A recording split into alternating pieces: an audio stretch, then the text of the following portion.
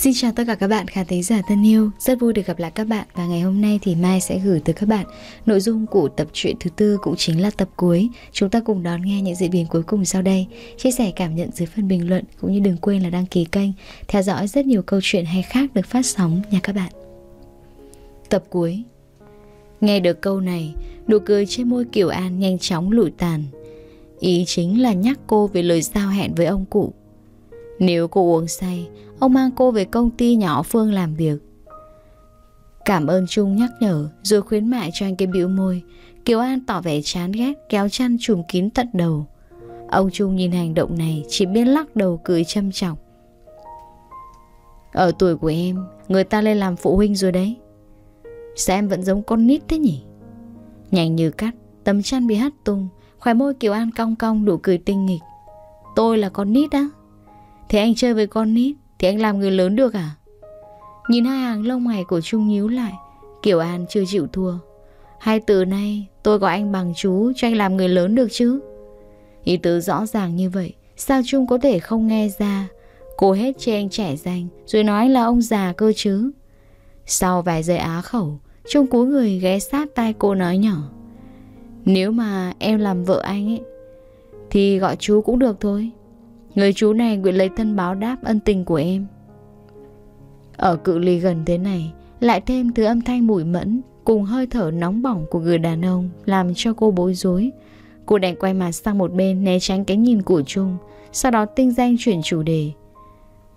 Ngày Kiều An ra viện, Chính là ngày cuối cùng của năm. Vừa về tới nhà hào bà cụ đợi sẵn ở bàn trà. Số phận của hai con người bỗng trở nên hơn thua rõ ràng. Cùng là hai đứa cháu trở về. Thế nhưng một đứa được ân cần hỏi han, Một đứa ăn bơ từ đầu đến cuối. Thậm chí, sau khi Kiều An được dì Hà dẫn về phòng, Trung bị ông bà cụ trách mắng liên hồi.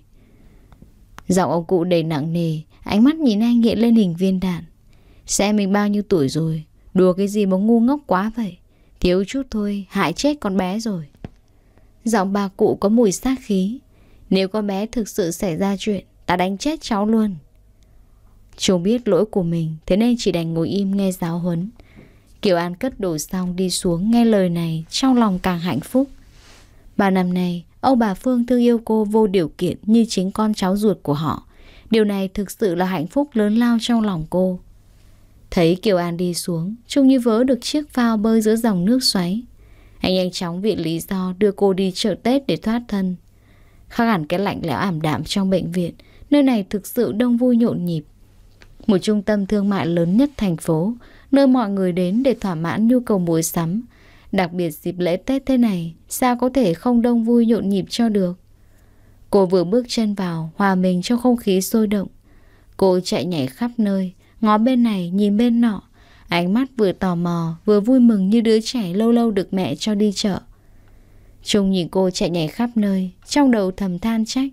Vậy mà bảo là con nít có không chịu. Vừa than một câu Trung giật mình nhìn que kẹo bông to tròn trước mặt. Giọng cô gái đầy hồn nhiên Ăn đi này, ngon lắm đấy. Trung đưa tay xua xua muốn từ chối. Ngay khi vừa mở miệng định cắt lời Thấy vị ngọt ngọt của thứ gì đó tan trên đầu lưỡi. Thế nào, ngon đúng không? Kẹo bông thì anh biết Nhưng từ nhỏ đến giờ chưa từng nếm qua thứ này Vì anh mặc định đây là đồ ăn của cánh đàn bà con gái. Tuy lần này bị ép buộc thưởng thức nhưng anh không thể không công nhận Thứ đồ ăn vặt này cũng khá ngon.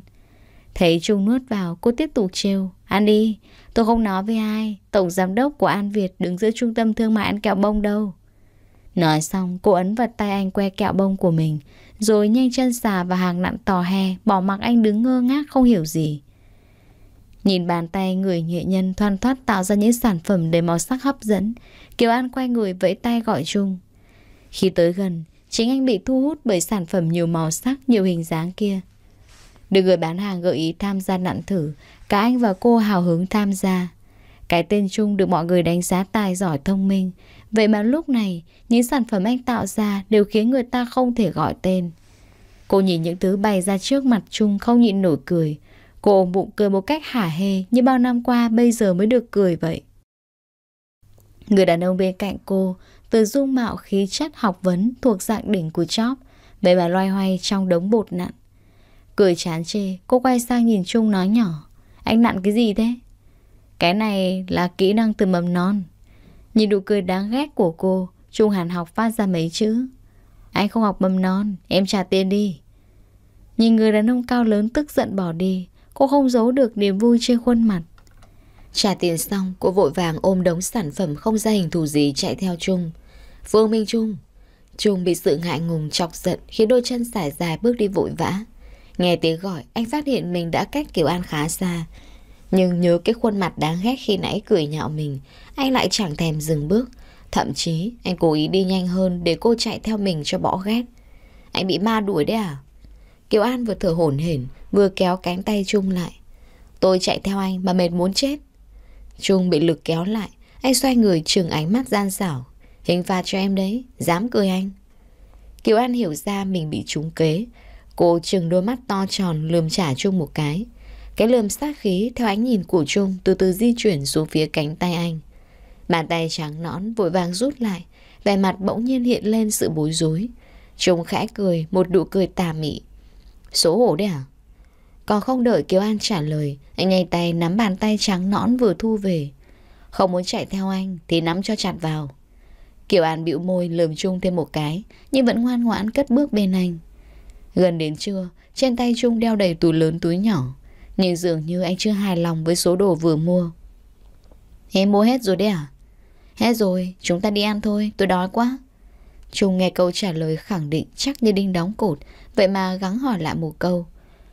Em chắc chắn mua xong rồi Thử không quên cái gì đấy chứ Kiều An nhìn thứ đồ trên tay Trung một lượt Sau đó nói Mua đủ rồi Chắc chắn không quên gì nữa. Em mua quà mừng năm mới cho cả nhà. Còn anh thì bỏ qua đấy à?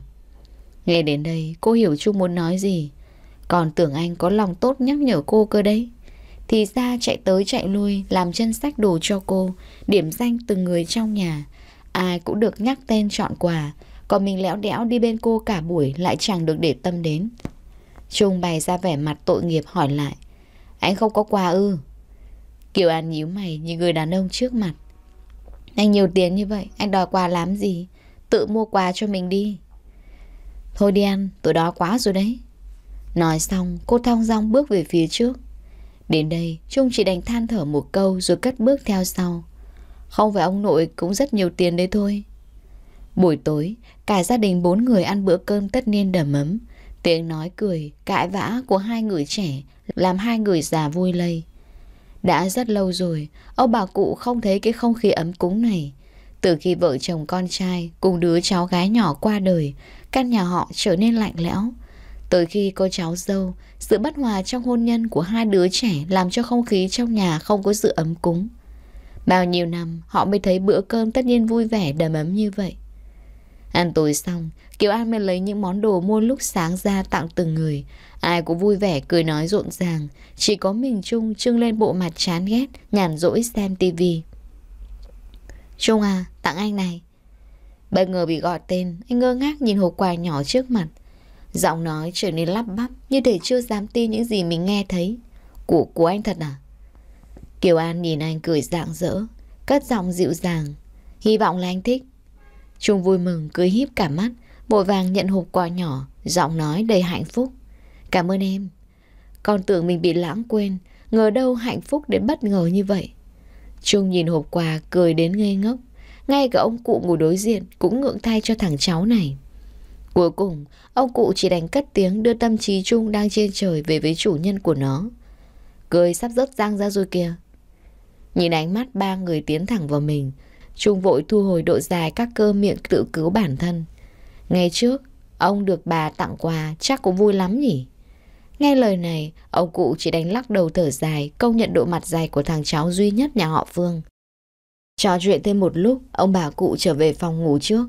Ở cái tuổi của ông bà cụ, thức để đón giao thừa thực sự là rất khó khăn. Còn chưa kể sức khỏe bà cụ không được tốt. Vì thế, cả căn nhà rộng lớn trở thành không gian riêng cho hai người trẻ tuổi. Trên sân thượng, Kiều An ngắm nhìn khoảng không gian trước mặt. Nơi xa kia có tòa nhà cao thấp đan xen, những ánh đèn lung linh sáng chói. Khác hẳn vẻ nhộn nhịp buổi ngày, thành phố về đêm mang nét đẹp trầm lặng, huyền ảo mà lung linh, cho người nhìn một thứ cảm giác yên bình thư thái. Đẹp không đây? Kiều An chăm chú khoảng không trước mặt, trả lời chung bằng giọng nói nhẹ nhàng.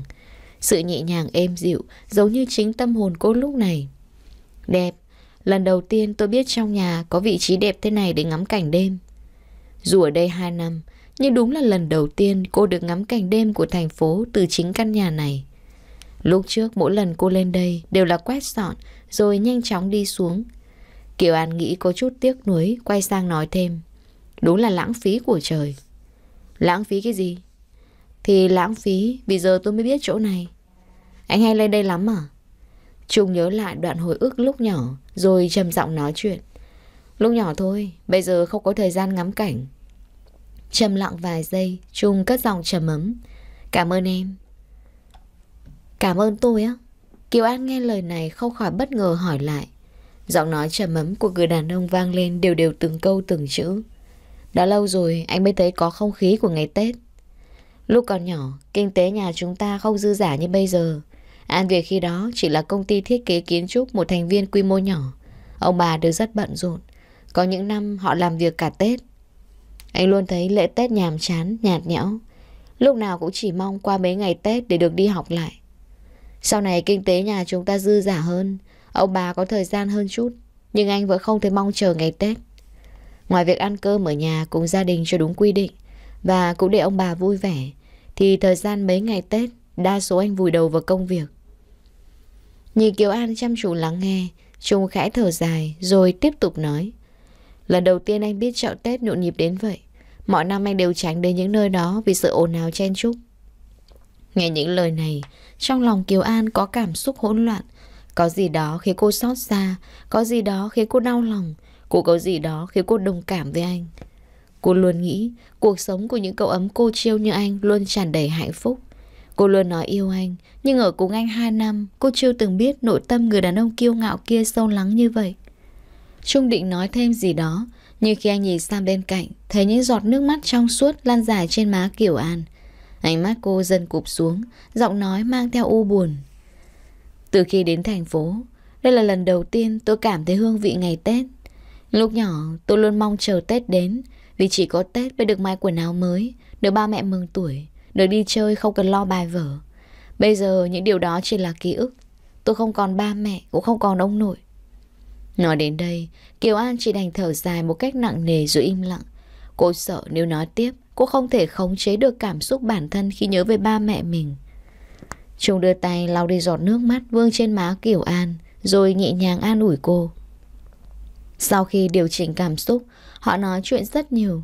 Cô kể cho anh nghe về cuộc sống khi còn nhỏ, thi thoảng khóe môi người đàn ông cong lên đủ cười ấm áp. Tiếng chuông đồng hồ vang lên từng hồi, từng chùm pháo hoa đua nhau khoe sắc trên bầu trời. Cuối cùng giờ khắc giao thừa đã tới. Phương Minh Trung à, chúc mừng năm mới. Đâu phải chưa nghe những lời thế này bao giờ, nhưng lúc này đây Chu cảm thấy vui vẻ hơn bao giờ hết. Nếu có thể, anh chỉ mong ngày nào cũng là giao thừa. Vậy thì đứng đây cầu nguyện đi, nghe nói điều ước về đêm giao thừa sẽ thành hiện thực đấy. Tôi đi ngủ trước đây. Ơ kìa, còn chết pháo hoa mà, xem đi đã. Nói xong, anh kéo cô lại phía mình, bắt đầu trở mặt gian xảo. Cùng lên thì phải cùng xuống chứ. Ai cho em chạy làng? Kiều An chưa kịp phản ứng Thấy vòng tay ôm chặt cô trong lòng. Bên tai phảng phất hơi thở quen thuộc. Chúc mừng là được rồi Đâu cần anh nồng nhiệt như thế. Trung nghe ra ý tứ trong câu nói này Thế nhưng vòng tay kia đang lưu luyến Chưa muốn buông ra. Một phút thôi mà. Trung vừa lên tiếng giao kèo Điện thoại trong túi áo reo lên từng hồi chuông nhức óc. Nhìn ba chữ Lâm Tuệ Mẫn trên màn hình Sang mặt Trung bỗng trùng xuống Nụ cười ấm áp khi nãy cũng đang nguội lạnh dần Lúc trước vì chuyện của Tuệ Mẫn khiến Kiều An không vui. Chuyện của bọn họ chỉ vừa tốt đẹp lên một chút. Anh không muốn vì người không quan trọng ảnh hưởng mối quan hệ giữa anh và cô lúc này. Chính vì vậy, ngón tay thon dài của người đàn ông nhanh chóng trượt trên nút đỏ. Trung vừa cất điện thoại vào túi, đến tay chưa kịp rút ra, bên tai vang lên hồi chuông nhức óc thứ hai. Trên màn hình hiện ba chữ Lâm Tuệ Mẫn thì nhau nhảy múa như thúc giục người ta bắt máy. Thôi, anh nghe điện thoại đi. Giữa bầu trời đêm, câu nói truyền đến ta hết sức nhẹ nhàng, nhưng cho Trung cảm giác lạnh toát chạy dọc sống lưng. Lúc này đây, anh chẳng quan tâm đến điện thoại đang gieo chuông in ngỏi Bước chân vội vã theo Kiều An đi xuống nhà. Vào đến phòng, Kiều An mạnh tay đóng cửa dầm một tiếng, mặc cho anh đứng ngoài liên tục gọi tên cô. Thu người cuộn tròn trong chiếc chăn mềm mại. Nhưng ba chữ Lâm Tuệ Mẫn trên màn hình điện thoại, Cùng tiếng gọi phía ngoài cửa khiến cô không ngủ nổi. Ngay cả bản thân cô chẳng biết thứ cảm xúc gì ngự trị trong tim mình. Lúc trước anh câu khai đi sớm về muộn cùng Tuệ Mẫn, Cô trước sau như một thái độ ôn hòa. Nhưng không hiểu sao, Bây giờ mới chỉ là cuộc gọi từ cái tên Tuệ Mẫn Khiến cô cảm thấy khó chịu như vậy. Em mở cửa đi Kiều An đọc dòng tin nhắn, Vẫn chẳng bước ra khỏi giường. Cô không muốn nói, Cũng không muốn nghe anh nói gì lúc này. Tiếng gõ cửa càng lúc càng dồn dập Hai chữ Kiều An được truyền đến liên hồi. Cuối cùng cô chịu không được độ lì của anh, Đành hàn học ra mở cửa. Anh muốn đánh thức cả nhà dậy đấy à? Thì ai bảo em không chịu mở cửa? Anh muốn chọc tức cô đây mà. Rõ ràng người gây ồn nào là anh, Vậy mà đổ tội cho cô, Đều là tại cô á. Nuôi chọn cái lườm sắc nhọn Trúc đưa tay véo lên khuôn mặt đang cau có giận hờn. Em đang ghen đấy à? Lời anh nói ra liền cảm nhận độ nóng truyền từ tay đang tăng dần. Tôi, tôi cớ gì phải ghen tuông chứ? Cô muốn phủ nhận điều hiển nhiên bày ra trước mắt Thế mà ngay cả giọng nói lúc này lắp ba lắp bắp như muốn phản chủ nhân của nó. Trung nhìn bộ dạng mèo lười ẩn sau bóng dáng con hồ ly không khỏi cười dạng dỡ Chính là vì cô còn để tâm đến anh Nên mới thấy khó chịu với cuộc gọi kia như vậy. Dù là làm cô giận, Nhưng trong lòng anh vui vẻ Vui vẻ đến mãn nguyện. Những ngón tay thon dài ghi chặt lên vai Kiều An, Ép cô chính diện nghe anh nói. Anh với cô ấy thực sự không có gì. Có lẽ cô ấy muốn gọi điện chúc Tết như mọi năm thôi mà. Vậy sao không nghe máy? Thì anh sợ em giận. Nghe nói đầu năm mới, Làm cô gái mình yêu tức giận Thì đúng là xui xẻo cả năm. Cô bịu môi, lườm chung một cái, Rồi hất bàn tay đặt trên vai mình ra Muốn tìm đường thoát thân.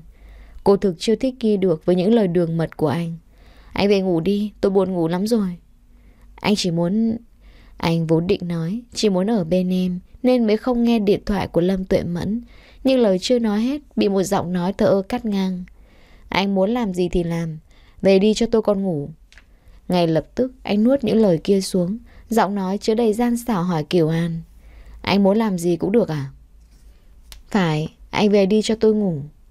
Nhận được câu trả lời, Trung nở nụ cười tuấn Mỹ, từ từ tiến lại, đặt lên môi cô nụ hôn, rồi nhanh chóng đưa vòng tay ấm áp ôm chặt cô trong lòng. Anh sợ lần này nếu không khóa chặt cô trong lồng ngực, có thể cô bóp chết anh ngay lập tức. Chẳng biết Kiều An đứng bất động trong vòng tay ấm áp kia bao lâu cô mới có thể khôi phục chức năng cho các dây thần kinh vừa bị tê liệt. Không phải lần đầu anh hôn cô, nhưng thứ cảm giác nhẹ nhàng mềm mại này lần đầu tiên cô cảm nhận được. Dù chỉ là thoáng qua vội vàng, nhưng như thế đủ để trái tim cô loạn nhịp, đủ để làm tê liệt các dây thần kinh hoạt động trong cô. Trả về suy nghĩ của Trung, lần này Kiều An không vùng vẫy, không la mắng anh câu nào. Thấy người trong lòng đứng im bất động, Trung lấy làm lạ. Không lẽ cô giận anh tới mức không muốn nói thêm điều gì? Trong lòng có chút lo lắng khiến vòng tay anh vô thức siết chặt. Buông ra được chưa? Bị siết chặt đến hô hấp có phần khó nhọc Kiều An lên tiếng một cách lạnh lùng. Sau khi cảm nhận vòng tay kia có phần nới lỏng hơn chút Cô nghe hơi thở quen thuộc thì thầm bên tai. Chúng ta hẹn hò nhé. Cho anh cơ hội sửa sai được không? Lúc trước chính vì đốt cháy giai đoạn Nên chúng ta mới lạc mất nhau. Cho anh cơ hội Chúng ta sẽ giống những cặp đôi khác Cùng tìm hiểu về đối phương. Em là bạn gái anh nhé. Nghe những lời này Tâm trí cô đột nhiên rơi vào hỗn loạn. Trong ký ức của cô, Trung trước đây lạnh lùng kiêu ngạo, đặc biệt mỗi lời anh nói đều là từ ngữ bất thiện. Còn anh của hiện tại cho cô cảm giác ôn hòa ấm áp. Lý trí nói với cô không được lại gần người đàn ông đó. Bi kịch cuộc đời cô chính là một tay anh tạo ra. Vết thương lòng năm nào tuy đã lành, nhưng vết sẹo để lại khiến cô phải mang theo cả đời. Vậy mà khi nghe những lời kia, trái tim cô không nhất quán cùng lý trí. Trong khi lý trí của cô một mực từ chối lời thì thầm kia, thì trái tim nhảy múa loạn nhịp, dường như nó muốn nổ vào ăn mừng một cách vui vẻ. Miên man trong dòng suy nghĩ hỗn loạn, ánh mắt cô trở nên vô hồn, không có điểm đích. Sự tĩnh lặng của màn đêm bao trùm căn phòng rộng lớn. Trong không khí chỉ còn tiếng thở vang lên từng nhịp đều đều. Cuối cùng chính là sự hồi hộp trong lòng thôi thúc anh lên tiếng phá vỡ sự tĩnh lặng của màn đêm. Anh yêu em. Nãy giờ cô giữ nguyên thái độ im lặng Hai tay siết chặt trên vai áo chung Từng giọt nước mắt bắt đầu lan dài trên má Những giọt nước mắt tủi thân mặn chát Dần thấm ướt vai áo người đàn ông Cảm nhận cơ thể người trong lòng run lên từng nhịp, làm Trung dâng lên cảm giác xót xa. Anh chỉ muốn bày tỏ suy nghĩ trong lòng mình, không ngờ khiến cô khóc đến thương tâm như vậy. Anh xin lỗi, anh, anh xin lỗi. Sự đau xót trong lòng khiến anh liên tục nói ra lời xin lỗi, tới khi nghe giọng nói run rẩy, buông tôi ra đi. Vừa nói, cô vừa đẩy anh ra, rồi tiếp tục bằng giọng lạnh lùng. Tôi không còn là Kiều An của ba năm trước. Tôi không muốn chung trả với người đàn ông khác. Nếu là người đàn ông của tôi, nhất định phải thuộc về một mình tôi. Trung nghe rõ ràng từng câu từng chữ. Anh cảm nhận trong giọng nói có vài phần ngắt quãng vì tiếng nức kia chứa đựng sự kiên định mạnh mẽ thế nào. Anh cũng nhận rõ hàm ý của cô chính là không tin tưởng anh. Người đàn ông nở ra nụ cười khổ, ánh mắt buồn rầu nhìn thẳng vào cô giải thích. Ngoài em ra, anh chưa từng đi quá giới hạn với người phụ nữ nào. Anh xin lấy danh dự bản thân khẳng định Tất cả những việc em thấy chỉ là truyền thông thổi phồng. Tin anh một lần được chứ? Anh xin em đấy Tin anh được không? Lúc trước anh muốn lợi dụng những tin đồn đó hành hạ Kiều An. Không ngờ tới một ngày Bản thân bị chính những tin đồn đó hành hạ. Đúng là gậy ông đập lưng ông. Vẫn không nhận được câu trả lời của Kiều An. Trung thở dài một hơi, Nắm chặt bàn tay trắng nõn trước mặt, Đau khổ nặng từng từ. Kiều An, Nếu anh nói sai, Trời, Thôi được rồi. Như hiểu được anh muốn nói gì, Cô vội cắt ngang lời anh. Thực ra cô chỉ muốn nói rõ quan điểm của mình cho anh nghe. Ánh mắt Trung sáng lên tia hy vọng. Tin anh một lần này thôi, Nhất định anh chứng minh cho em thấy Anh không lừa dối em. Được rồi. Một chữ được làm Trung ngỡ ngàng. Nhưng không tin những gì nghe được Người đàn ông ấp úng hỏi lại. Nói, nói vậy em đồng ý à? Cô không trả lời Nhìn anh một cách dịu dàng. Em đồng ý làm bạn gái anh rồi. Nhìn nụ cười của Trung trở nên phấn khích. Sau khi nhận được cái gật đầu Tâm trạng anh tràn đầy sức sống. Tự lấy tay vỗ vỗ mặt mình mấy cái Để xác định sự thực Rồi chạy tới ôm cô xoay vòng vòng.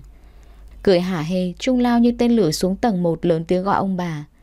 Anh buông một câu, cháu có bạn gái rồi. Rồi lại nhanh chóng rời đi, Để lại ông bà Phương theo bóng lưng thằng cháu Không khỏi lắc đầu ngán ngẩm.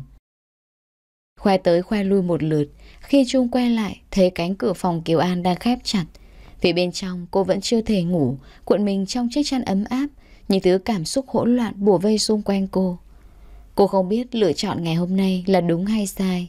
Cô chỉ biết nếu không phải là Trung, Một ngày nào đó, người lớn trong nhà cũng sắp xếp cho cô người đàn ông khác. Câu chuyện này, ông bà cụ cũng đề cập nhiều lần. Nếu cô không tự tìm được người thương Việc đi xem mắt, chỉ là chuyện sớm muộn mà thôi. Bao nhiêu năm nay, Cô đều dồn hết sự tập trung vào công việc. Đừng nói đến kết hôn, Ngay cả bạn trai cô cũng không có. Hơn nữa, cái bóng của Trung quá lớn, Nỗi đau năm nào cũng quá sâu, Nó khiến cô không còn cảm giác rung động Với những người khác giới. Bản thân cô hiểu rõ, Sống cùng một người không có tình cảm với mình Đau khổ đến thế nào. Vì vậy cô không nỡ để người khác chịu tổn thương giống mình Mặt khác Cô mang ơn dưỡng dục nhà họ Phương Nên cô chẳng thể vì chung mà đoạn tuyệt quan hệ với ông bà cụ nhưng nếu bảo cô coi người chồng cũ này như anh trai mà chung sống trong một gia đình thì thực sự làm khó cô. Cả nghìn lý do đều chỉ cho cô thấy một điều. Nếu buộc phải lựa chọn người đàn ông để hẹn hò, Trung chính là người thích hợp nhất. Những ngày gần đây, cô quen sự tồn tại của anh trong cuộc sống. Trái tim cô đôi khi còn vì có anh ở bên mà vui mừng. Trong mối quan hệ này, nếu họ có thể tiến xa hơn, cô nguyện ý vun vén đoạn tình cảm của hai người. Cô chắc rằng đây cũng là mong chờ của ông bà cụ Còn nếu họ thực sự hết duyên hết nợ Thì thôi cũng đành Cô coi sự đổ vỡ đó như phần không thể thiếu của cuộc sống Nuôi một hơi coi như chấp nhận lựa chọn của chính mình Kiều ăn nhắm mắt từ từ chìm vào giấc ngủ ở vòng bên cạnh Trung mơ màng nhớ lại cái gật đầu khi nãy Các cơ miệng không rủ cùng nhau giãn rộng Anh biết cô chưa quên đi cuộc hôn nhân tàn khốc do anh gây ra Anh biết cô cũng không tin tưởng những lời anh nói anh cũng nhận ra thái độ của cô có gì đó cự gạo lạnh lùng. Nhưng dù thế nào, cũng chính là cô cho anh một cơ hội. Đêm đó, anh mang theo cả nụ cười mãn nguyện, chậm chậm tiến vào mộng đẹp. Ngày hôm sau, đánh thức Kiều An là những tiếng gõ cửa giòn giã. Sau hồi cố gắng, cuối cùng Kiều An bật được người ra khỏi chiếc chăn ấm áp. Chào đón người bên ngoài bằng gương mặt đang ngái ngủ. Anh ồn ào cái gì thế à? Phá tan mộng đẹp của tôi. Trung đưa tay nhẹ nhàng vỗ vỗ khuôn mặt ỉu xìu Giọng nói anh đầy cương chiều Em có thấy ai xưng tôi với bạn trai mình không? Hơn 10 giờ rồi, dậy thôi Anh chuẩn bị đồ ăn cho em Kiều An nhíu mày nhìn anh khó hiểu Như đang nghi ngờ điều anh vừa nói Vài giây sau Cô ý thức câu chuyện đêm qua Rồi giật mình ấp úng. Tôi... Giờ chiếc đồng hồ đang đeo Chị Kiều An xem giờ. Trung nhẹ nhàng kéo cô ra phía phòng tắm. Nhanh lên, không đồ ăn nguội hết thật đấy. Mấy ngày Tết Trung dành chọn thời gian bên Kiều An. Dù ở cùng cô 2 năm Anh hoàn toàn không hiểu gì về cô. Nhân cơ hội cả hai cùng nghỉ lễ Anh muốn ở bên cô thêm một chút Muốn hiểu cô hơn một chút. Vì vậy hủy hết các cuộc hẹn đã lên lịch trước. Ngay cả Bách và Hướng cũng bị cho leo cây. Ông bà cụ nhìn hai đứa trẻ díu dít cả ngày, Trong lòng cũng thở vào nhị nhõm. Bao năm nay, Mỗi dịp lễ Tết, Thằng cháu này của họ nếu không chìm đắm trong hơi men Thì cũng là vùi đầu vào công việc. Cuối cùng cũng có người khiến đứa cháu ngang bướng của họ phải bận tâm. Kỳ nghỉ Tết nhanh chóng qua đi Trung muốn Kiều An ở lại đây cùng anh và ông bà cụ, Nhưng cô nhất quyết từ chối. Vậy là lần nữa anh đành sách vali theo cô rời đi.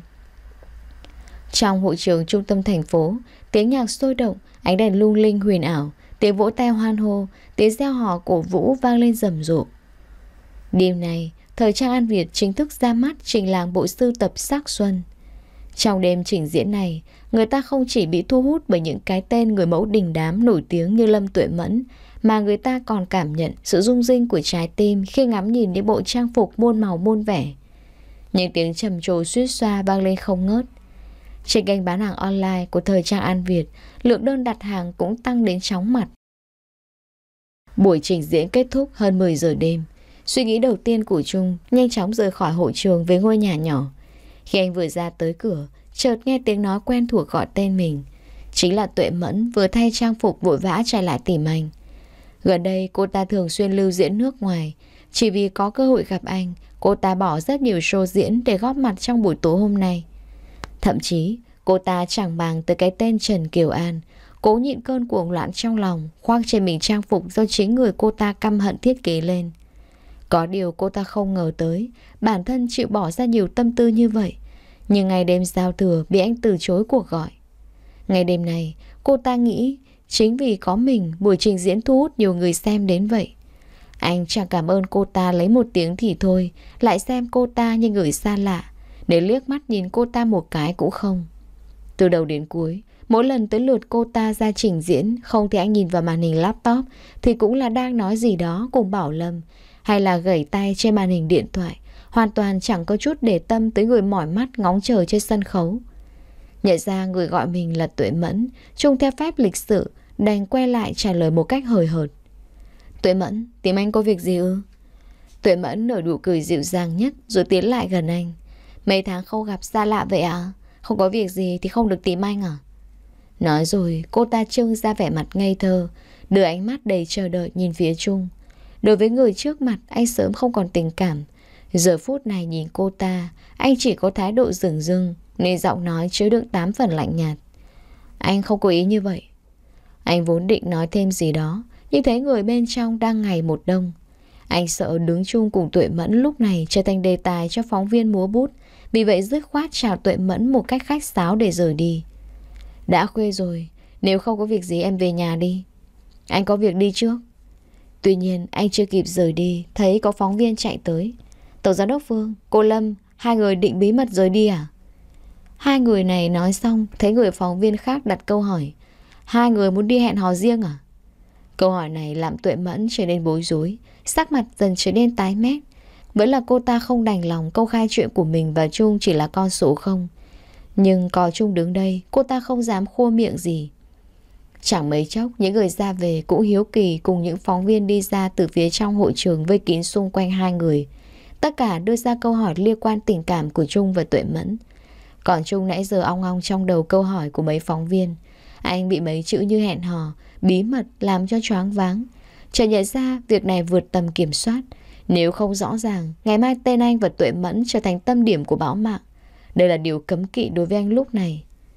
Kiều An chưa tin tưởng chuyện giữa anh và Tuệ Mẫn Nếu có thêm luồng xùm Cha anh nhảy sông Hoàng Hà cũng không rửa oan được Sau hồi suy nghĩ Cuối cùng Trung nở nụ cười mê hoặc nhìn Tuệ Mẫn Rồi nhìn những gương mặt rạng rỡ vây quanh mình chờ câu trả lời Hẹn hò gì chứ Nói như vậy thiệt thòi cho cô Lâm Chúng tôi là bạn nhiều năm, chỉ tiện đường trò chuyện mấy câu. Cảm ơn mọi người đến giúp đỡ buổi ra mắt của sản phẩm chúng tôi. Tôi còn nhiều việc cần xử lý, vì mọi người nhường đường giúp. Trong lời nói ôn hòa điềm đạm, chứa đựng uy nghi khiến đám phóng viên trước mặt không ai bảo ai tự động lùi lại mấy bước nhường lối cho anh đi. Sau cái bóng lưng anh Tuấn đó, tâm điểm rơi vào bóng người thướt tha nắm chặt tay có phần run rẩy. Cuối cùng, ba tâm tư của cô ta đổ sông đổ bể.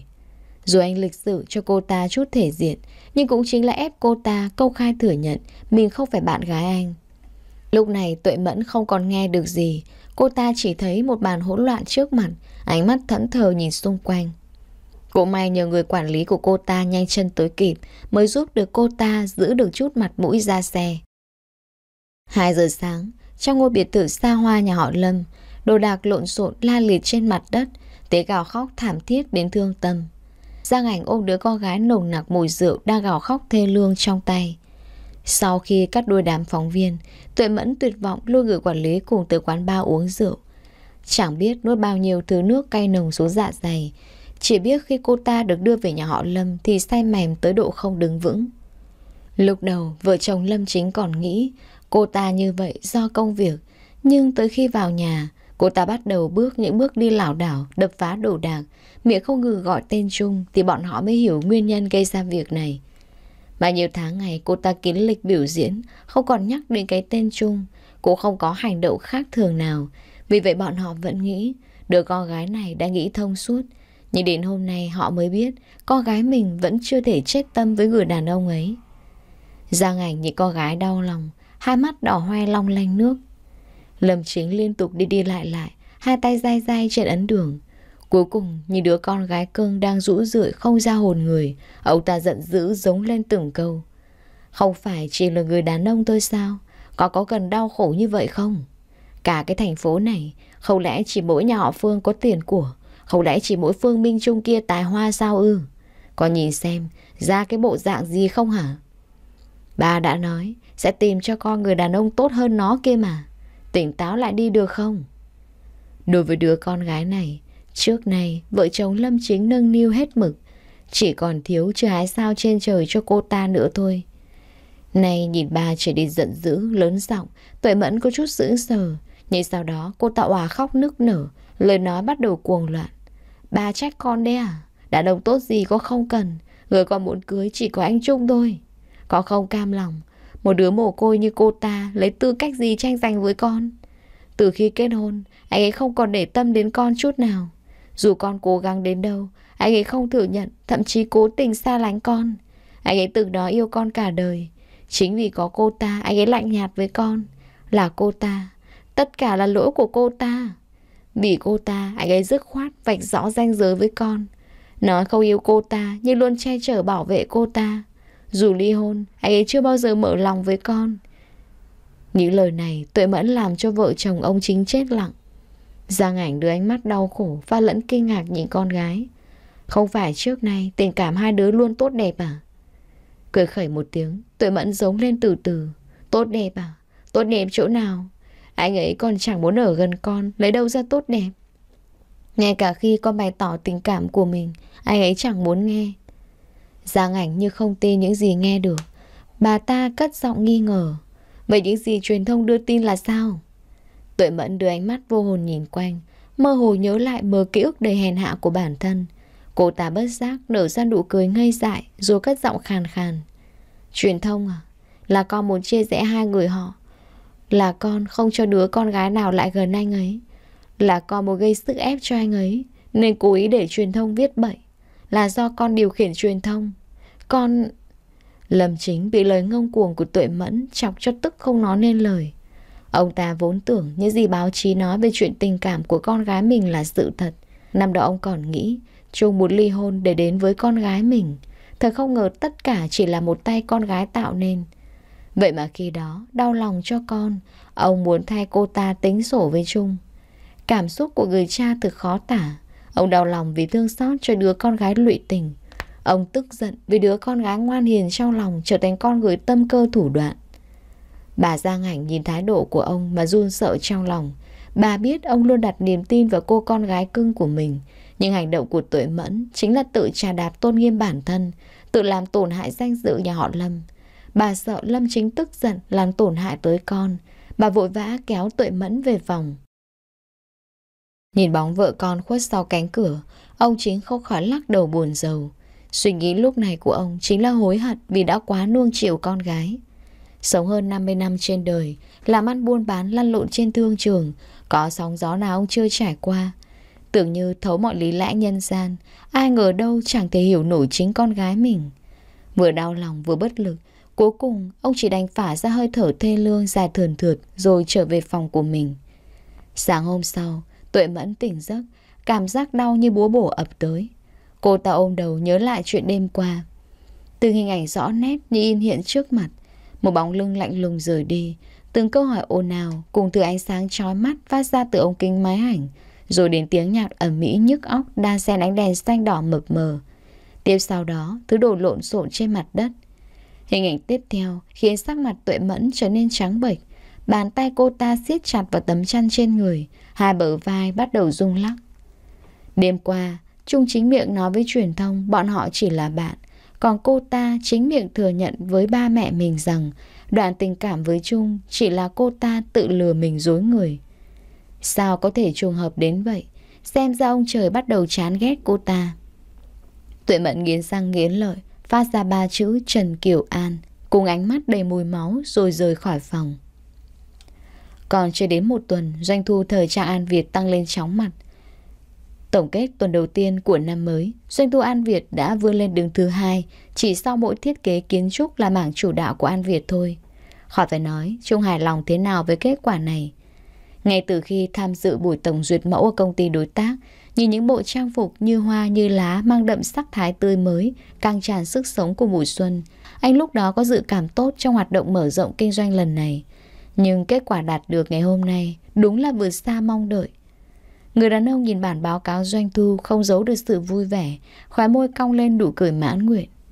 Tiếng gõ cửa vang lên, đưa sự nghiêm túc của Trung trở về bên chủ nhân của nó. Tiếp theo, giọng nó có phần nịnh bợ. Sếp đúng là dự liệu như thần, doanh thu dự án này giúp An Việt lên một tầm cao mới. Trung ngước mắt nhìn Bảo Lâm một cái, rồi tiếp tục xem tài liệu. Cậu vào đây chỉ để nói mấy câu này à? Lúc này đây, Bảo Lâm mới nhớ tới việc chính. Tối nay anh tham gia buổi tiệc gặp mặt đầu xuân không để tôi chuẩn bị. Gần đây anh ta thấy Trung từ chối tất cả các bữa tiệc tối để về ăn cơm cùng bạn gái. Vậy nên lần này, anh ta thận trọng hỏi lại vị sếp khó chiều một câu. Không ngoài dự định của Bảo Lâm, Trung vừa múa bút trên tập tài liệu, Vừa đùng đỉnh trả lời. Không cần chuẩn bị, Tôi không muốn để cô ăn cơm một mình. Bảo Lâm đến nổi da gà Khi nhìn nụ cười của sếp mỗi khi nhắc về bạn gái anh ta nhẹ nhàng bước ra ngoài, Trả lại không gian làm việc cho Trung. 8 giờ tối, Tập tài liệu trước mặt Trung được ký tên hết lượt. Anh mang tâm trạng đầy vui vẻ rời khỏi công ty. Nhìn ngôi nhà nhỏ chìm trong bóng tối, Trung hoang mang lấy điện thoại bấm đi cuộc gọi. Điện thoại vừa kết nối Chuyển đến tai Trung thứ âm thanh du dương Cùng tiếng trò chuyện huyên náo. Mấy giây sau, anh nghe giọng nói quen thuộc. Trung, gọi em có việc gì à? Anh tỏ rõ sự hụt hẫng trên khuôn mặt Tuấn Mỹ. Tuy nhiên giọng nói vẫn ôn nhu điềm đạm. Muộn rồi chưa thấy em về, Anh lo lắng thôi. Phía bên kia giọng nói, Kiều An có chút áy náy. Em đi dự tiệc cô xếp cao. Lúc này Trung buồn giàu chỉ kịp ừ một tiếng rồi ngắt máy. Anh lo lắng cô buồn, Không muốn đi dự tiệc để về nhà cùng cô ăn cơm. Vậy mà cô nhẹ nhàng phát ra một câu Đi dự tiệc cùng xếp cao. Cảm giác vui vẻ khi nãy của Trung bỗng không cánh mà bay anh cố chống lên hàng mi ủ rũ phát đi một cuộc gọi khác. Đang ở đâu đấy? Bách trả lời một cách nhanh nhất. Đang ở bữa tiệc trong thành phố. Tôi thấy cả bạn gái cậu ở đây cùng tên xếp mặt trắng của cô ấy. Không quan tâm lời nói của Bách, Trung chậm chậm nói một câu. 20 phút nữa ra ngoài uống rượu. Tôi đang ở tiệc rượu, cậu muốn bắt tôi đi uống rượu ở đâu nữa? Không thấy đầu dây bên kia trả lời, Bách đành nhả hai chữ chỗ cũ. Sau một hồi chạy đua với gió, cuối cùng Trung cũng tới điểm hẹn. Bách nhìn sắc mặt sâu thăm thẳm đen kịt như màn đêm kia không dám lên tiếng trêu chọc. Từ khi ngồi vào bàn ăn, Trung chưa hề dùng đến đũa, thay vào đó ly rượu trên bàn liên tục được trọng dụng. Nhìn những vỏ chai xếp trên mặt bàn mỗi lúc một nhiều, Bạch lo lắng đưa tay giữ lại ly rượu vừa kề đến miệng Trung. Được rồi, đủ rồi đấy. Mau ăn chút gì đó đi. Coi chừng cái dạ dày của cậu. Tôi không có thời gian đưa cậu đi bệnh viện đâu được nhắc nhở tận mặt như vậy Nhưng giờ này Trung đâu còn tâm trạng quan tâm dạ dày hay dạ mỏng gì nữa. Hình ảnh cô bạn gái xinh đẹp Cùng tên giám đốc sáng giá trong bữa tiệc hôm nào hiện lên. Và có lẽ hôm nay Họ cũng đang đi bên nhau như vậy. Trung sầu não, Ngửa cổ cho thức uống cay nồng kia chảy vào dạ dày. Cậu nói xem, Rốt cuộc cô ấy muốn làm gì? Gắp miếng thịt bỏ vào miệng, Rồi Bách trả lời một cách không cảm xúc. Tôi đâu phải cô ấy mà biết. Thở dài một tiếng, Coi như chấp nhận câu trả lời của bác. Đến anh ở cùng cô mỗi ngày, Chẳng biết cô muốn làm gì, Thì một người cả năm gặp Kiều An được vài lần như bác Sao có thể biết? Mấy ngày gần đây, cô lạnh nhạt với anh đến chóng mặt, Cả ngày đi làm, Tối về cùng ăn cơm. Nhưng cô không còn díu dít như con chim non mọi ngày. Ăn xong không muốn cùng anh xem tivi Mà nhanh chóng về phòng chơi game. Dù anh cố gắng bắt chuyện, Cô cũng chỉ hời hợt trả lời cho xong. Ngày hôm nay, cô cũng chẳng bận tâm đến anh, Thậm chí quên luôn hôm nay là sinh nhật anh. Thấy Trung không ý định dừng uống rượu, Bách tỏ vẻ thân tình gắp chút đồ ăn vào bát, Rồi ấn đôi đũa tới tận tay Trung. Cậu nói xem, Con người ta sao buồn cười như vậy? Khi có chẳng thèm nhìn, Lúc mất thì lách thách chạy theo. Thì chắc nghiệp quật thôi. Trời đất, Cái thứ âm thanh quái quỷ gì vừa phát ra? Bách nghi ngờ rụi rụi mắt, Rồi vỗ vỗ hai bên tai. Cuối cùng cũng nhận bị nghiệp quật ư. Trung vứt cho Bách cái nhìn chán ghét, Rồi nhấp ngụm rượu, Lâu lâu sau mới nhả một câu. Vậy nên, cậu ít trăng hoa đi, Không có ngày còng lương gánh nghiệp. Bách trưng lên vẻ mặt vênh váo, Vừa cười vừa đánh nhịp chân. Gần 10 giờ, Trung cảm nhận từng cơn sóng cuộn trong dạ dày. Anh chỉ đành đặt lại ly rượu trong tay xuống mặt bàn. Sau đó nhấc điện thoại bấm gọi Kiều An. Em xong việc chưa? Anh tới đón em. Em về tới nhà rồi ạ. Ngập ngừng vài giây, cô nhẹ giọng nói tiếp. Mà cũng muộn rồi, Anh về nhà anh đi, Đừng qua đây nữa đấy. Nói rồi cô ngắt máy, Chẳng thèm đợi câu trả lời của Trung như thế nào. Phía bên nhà hàng, Trung mang tâm trạng tụt dốc không phanh, Khóe môi hiện lên nụ cười khẩy, Đưa tay với lấy ly rượu vừa đặt xuống. Anh không hiểu xảy ra chuyện gì, Cũng không biết là mình sai ở đâu nữa. Thái độ này của cô Chính là không muốn nhìn thấy anh nữa mà. Nghe lại từng cơn sóng xô nhau ổ ạt trong dạ dày Trung nhấn một cuộc gọi nữa. Kiều An, Rốt cuộc có chuyện gì thế? Em như thế là sao? Đáp lại anh, Giọng nói nhẹ nhàng, Nhưng sự nhẹ nhàng đó có đến 8 phần băng giá, Dọa cho người nghe ớn lạnh trong lòng. Em nghĩ chúng ta không thể đi xa hơn được đâu. Mấy ngày nay em suy nghĩ kỹ rồi. Cái gì? Cho anh một lý do được không? Chẳng có lý do nào cả. Em gửi đồ cho anh sau Một lần nữa điện thoại bị ngắt kết nối Lúc này Trung không bình tĩnh thêm được. Anh vội vàng vơ chùm chìa khóa chạy đi, Mặc cho Bách lắc đầu than thở. Biết yêu là biết buồn. Trong ngôi nhà nhỏ ven thành phố, Cô đang chìm vào giấc ngủ một cách khó nhọc. Chợt giật mình nghe tiếng động cơ xe tiến vào. Chẳng đến 3 phút sau, Tiếng mở cửa cùng bước chân vội vã Của người đàn ông ập tới. Cánh cửa phòng ngủ bị gõ như thể sắp tung ra. Kiều An à mở cửa Mở cửa nói chuyện đi. Vừa mở cửa ra, Đập ngay vào mắt cô, Khuôn mặt chứa đầy ảm đạm, Trong hơi thở phả ra thứ hơi men nồng nặc. Không phải bác sĩ nói không được uống rượu à? Trung không để tâm tới lời cô, Anh nhìn người trước mặt rồi lên tiếng. Có chuyện gì với em? Anh làm sai gì ư? Lúc này ánh mắt cô khẽ cụp, Thở ra hơi nặng nề. Em không muốn tiếp tục mối quan hệ này. Có lẽ thứ tình cảm anh dành cho em Chỉ là cảm giác muốn chinh phục thôi. Trung bị lời này dọa sợ đến mức khơi dậy cả những cơn sóng trong dạ dày vốn nằm ngủ im. Trên trán người đàn ông, hắn lên nếp nhăn theo cơn đau từ dạ dày ập xuống. Em nói linh tinh cái gì thế hả? Kiều An đưa ánh mắt sắc lạnh nhìn Trung, rồi lạnh nhạt cất từng chữ. Linh tinh á? Thế nào mà gọi là linh tinh? Anh luôn miệng nói, anh và cô ta không có chuyện gì. Thật là không có chuyện gì à? Trung đang ngơ ngác, chưa hiểu cô đang nói gì lại thấy cô trưng vẻ mặt ghét bỏ về phía mình Giọng nó đầy ấm ức. Anh tự xem đi. Vừa nói, cô ném tập báo trên tủ đầu giường trên người Trung Hình ảnh anh đang nhìn tuệ mẫn dịu dàng Cùng nụ cười tuấn Mỹ, Dọa cho anh sợ tái mặt, Rồi những dòng chữ giật tít câu view đến chói mắt. Cái gì mà hẹn hò bí mật, Với cả mối tình đi cùng năm tháng. Người đàn ông lạnh hết cả sống lưng. Trung nọc mấy câu, hằn lên từng tia máu đỏ trong mắt. Rõ ràng khi đó anh sợ cô hiểu lầm nên cố tình nói với đám phóng viên Mình và Tuệ Mẫn chỉ là bạn Tiện đường nên trò chuyện mấy câu Thế mà trên mặt báo lại in rõ từng từ. Trước sảnh lớn hội trường, vị giám đốc trẻ tuổi tài hoa câu khai dẫn bạn gái rời đi. Rồi trước mặt đông đảo các đồng nghiệp khách mời, cặp đôi không ngại thể hiện tình cảm. Họ trao nhau từng ánh mắt dịu dàng. Thực là làm cho Trung tức đến nổ con người. Anh không đủ nhẫn nại đọc hết những dòng tiếp theo. Sau khi ổn định cảm xúc, Trung hít hơi dài trầm giọng nói. Nghe anh giải thích được không? Mọi chuyện không phải như em thấy đâu. Không phải rõ ràng như thế à? Lúc nào cũng nói hãy tin anh. Tin anh để anh biến em thành con ngốc lần nữa đấy à? Tất nhiên không phải như thế. Xem có thể không chút động lòng nào với bạn trai như vậy chứ. Nào, đi theo anh. Vừa nói, anh với chiếc áo khoác choàng lên vai cô rồi kéo cô đi về phía phòng mình. Bật chiếc laptop trên bàn làm việc, Trung tìm đến đoạn video camera ghi hình trong buổi lễ ra mắt sản phẩm. Sau khi xem đoạn video hình ảnh anh vừa ra đến cửa, Tuệ Mẫn chạy theo sau. Tiếp đó, phóng viên tới rồi anh nói gì đó và rời đi.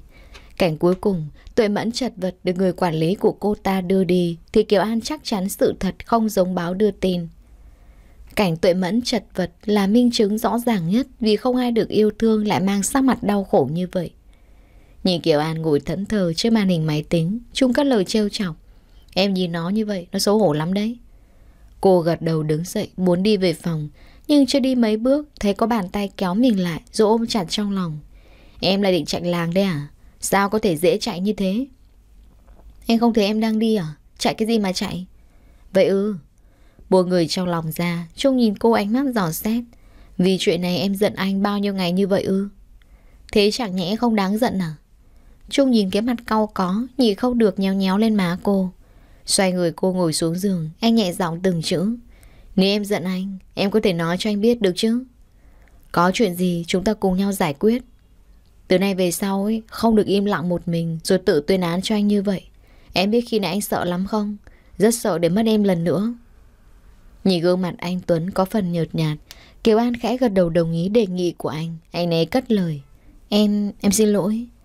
Trung chưa chịu buông tha, hai bàn tay ghi chặt lên vai cô chất vấn nhị nhàng. Còn nữa, sao đi dự tiệc cùng tên họ cao kia vậy?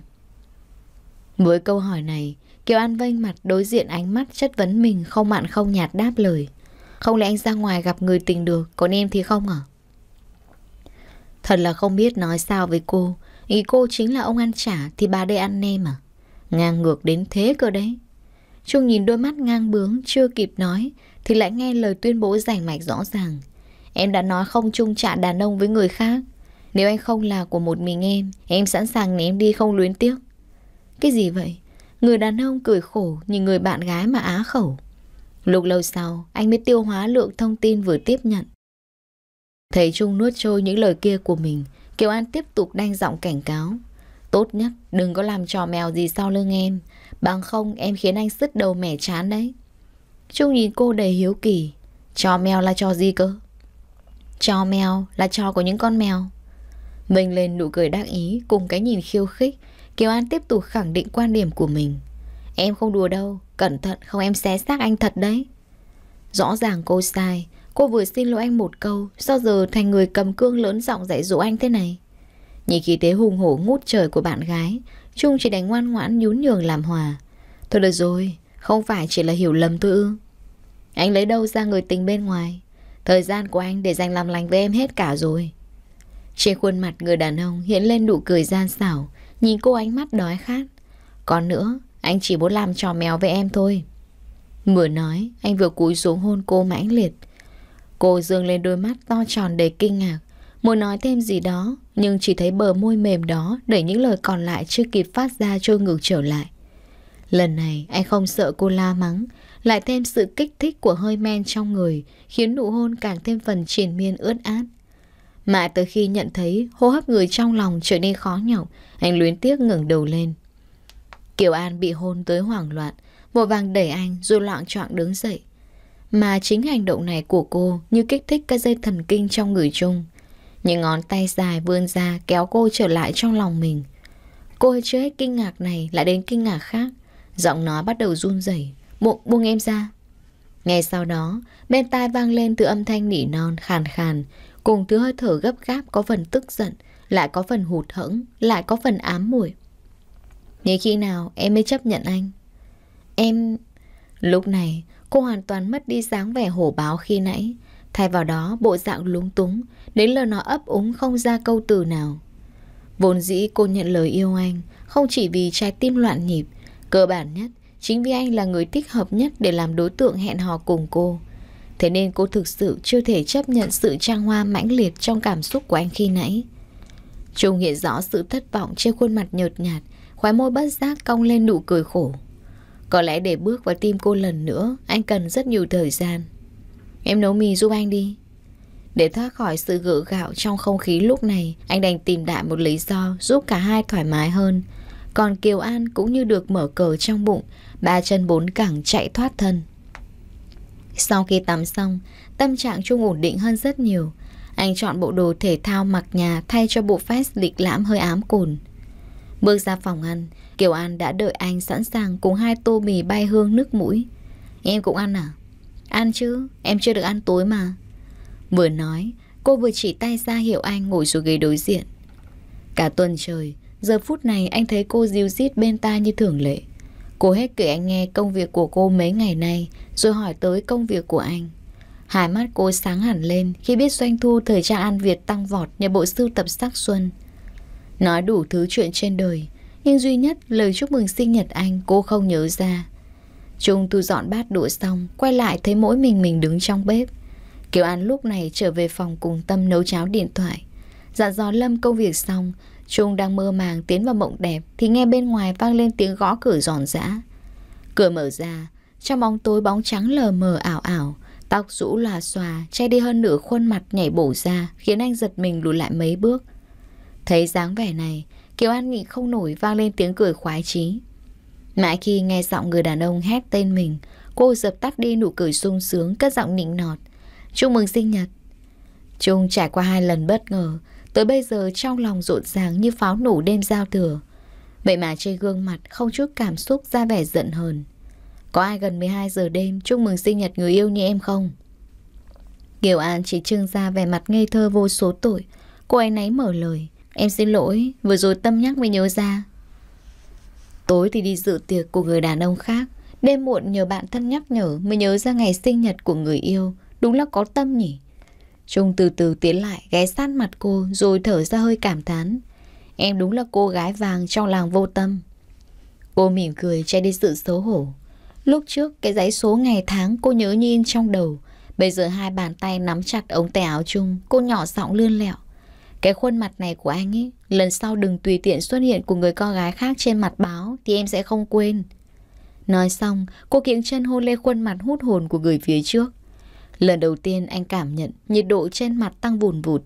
Sau vài giây ngẩn ngơ, Anh chỉ còn thấy bóng lưng mảnh mai khuất sau cánh cửa Cùng thứ âm thanh vang vọng. Người yêu ngủ ngon. Đưa tay ôm ngực trái, Trung trưng lên vẻ mặt cười mãn nguyện. Chỉ một cô gái nhỏ bé Nhưng có sức mạnh khổng lồ. Vài tiếng trước cho anh cảm giác lo sợ, Kéo cảm xúc của anh xuống vực sâu. Giờ đây hai chữ người yêu của cô Đưa tâm hồn anh bay lên tận 9 tầng mây. Người đàn ông vui vẻ Ôm trái tim rung rinh tiến vào mộng đẹp. Ngày hôm sau, Trong phòng ăn sang trọng giữa lòng thành phố, Giọng người đàn ông vang lên đầy băng giá. Anh nhắc nhở em một lần cuối, Chuyện tình cảm của chúng ta đã kết thúc, Đừng làm những chuyện vô nghĩa. Lần này coi như vì em, Anh không truy cứu, Cùng với cả đám phóng viên lá cải đưa tin nữa. Nhưng nếu có lần sau, Anh tính sổ cả chủ cả tớ đến cùng đấy. Tuệ Mẫn nghe lời này, Sắc mặt tối đen như mực. Cô ta hiểu rõ ý của anh. Chính là nếu cô ta làm càn Thì không khách khí mà bắt cô ta phải trả giá. Đã là lần thứ hai anh lên giọng cảnh cáo cô ta. Đặt đôi đũa xuống bàn, Tuệ Mẫn chậm chậm mở miệng. Anh có chắc anh yêu cô ta? Đến giờ phút này, Tuệ Mẫn có thể thản nhiên hỏi vậy. Chính vì năm đó anh từng nói yêu cô ta, Cũng từng nuông chiều cô ta như cô công chúa nhỏ. Nhưng giờ này thì sao? Tất cả chỉ cho cô ta một suy nghĩ không gì không thể. Hôm nay anh yêu Kiều An, Nhưng ngày mai thì chưa chắc. Chỉ cần cô ta không bỏ cuộc Thì vẫn có cơ hội làm lại từ đầu. Trung đưa ánh mắt thâm trầm Nhìn phía đối diện đến nửa ngày sau mới lên tiếng. Anh rất yêu cô ấy. Lúc ở cùng anh không nhận ra, nhưng khi cô ấy bỏ đi, Anh mới biết không có cô ấy, Cuộc sống của anh bị đảo loạn. Vì yêu cô ấy, Suốt 3 năm cô ấy ra nước ngoài, Anh không thể mở lòng với ai khác. Vì yêu cô ấy, Nên khi gặp lại, Anh không ngại vứt đi liêm sỉ theo đuổi cô ấy từ đầu. Cô ấy chịu nhiều tổn thương vì anh. Cả cuộc đời sau này, Anh chỉ muốn ở bên bù đắp tất cả cho cô ấy. Nghe đến đây, Khuôn mặt u ám của tuệ mẫn Nở ra nụ cười ngây dại, Rồi cất tiếng một cách thẫn thờ. Là như thế à? Hơn 3 năm qua em chờ đợi anh. Anh chờ đợi vợ cũ. Khi anh bảo em đừng lãng phí thời gian vì anh. Em nghĩ chỉ là anh muốn phấn đấu cho sự nghiệp. Không ngờ tới một người từng cam hận một người đến thấu xương. Cuối cùng có thể vì đối phương chịu hy sinh tất cả. Những tia máu đỏ hằn sâu trong đôi mắt long lanh. Tôi mẫn nghẹn ngào nói trong cơn nấc nghẹn. Rốt cuộc, Em có chỗ nào không bằng cô ta? Một đứa mồ côi không ra thế, không tiền bạc, Sống ăn nhờ ở đậu như cô ta Thì tốt đẹp ở đâu? Đủ rồi đấy. Những lời xỉ và cay độc Khiến Trung không thể bình tĩnh ngồi nghe tiếp. Nhưng tuệ mẫn dường như không quan tâm Ánh mắt sắc lạnh như dao găm quét trên người mình. Cô ta tiếp tục giống lên từ lời lạnh khái người nghe. Đau lòng à? Xem ra anh đây thương xót cô ta quá nhở? Để tôi nói nghe một bí mật này. Khi anh ở trong nước, ngày đêm dằn vặt, Nhớ thương cô ta. Cô ta ở nước ngoài vui vẻ cùng người đàn ông khác đến mang tai Thậm chí để bản thân thành thơi, Cô ta nhẫn tâm giết chết đứa bé chưa thành hình trong bụng mình. Tiếng cười điên dại vang lên khắp căn phòng. Tiếp theo đó những từ mỉa mai dễu cợt Thương yêu lắm à Để tôi chống mắt lên xem các người hạnh phúc đến đâu Nói rồi tuệ mẫn đưa tay lau đi giọt nước mắt vương trên má Rồi lảo đảo bước ra ngoài Bỏ lại chung cau mày giận dữ Bên ngoài, sắc trời chuyển sang màu đen mù mịt, những hạt mưa xuân rơi nhẹ trong không khí. Trung ngồi lặng ngắm ngôi nhà nhỏ qua cửa kính xe. Những lời của tuổi mẫn vang vọng bên tai anh. Hình ảnh cô cùng người đàn ông khác cuốn quýt bên nhau mờ mờ ảo ảo hiện lên trong đầu. Hai bàn tay siết chặt trên vô lăng, khóe mắt hắn lên từng tiêm máu đỏ. Thì ra là vậy. Ba năm cô đi không tin tức, không về nhà thăm một lần. Bởi vì bên cô có người đàn ông khác khiến cô vui vẻ hơn à?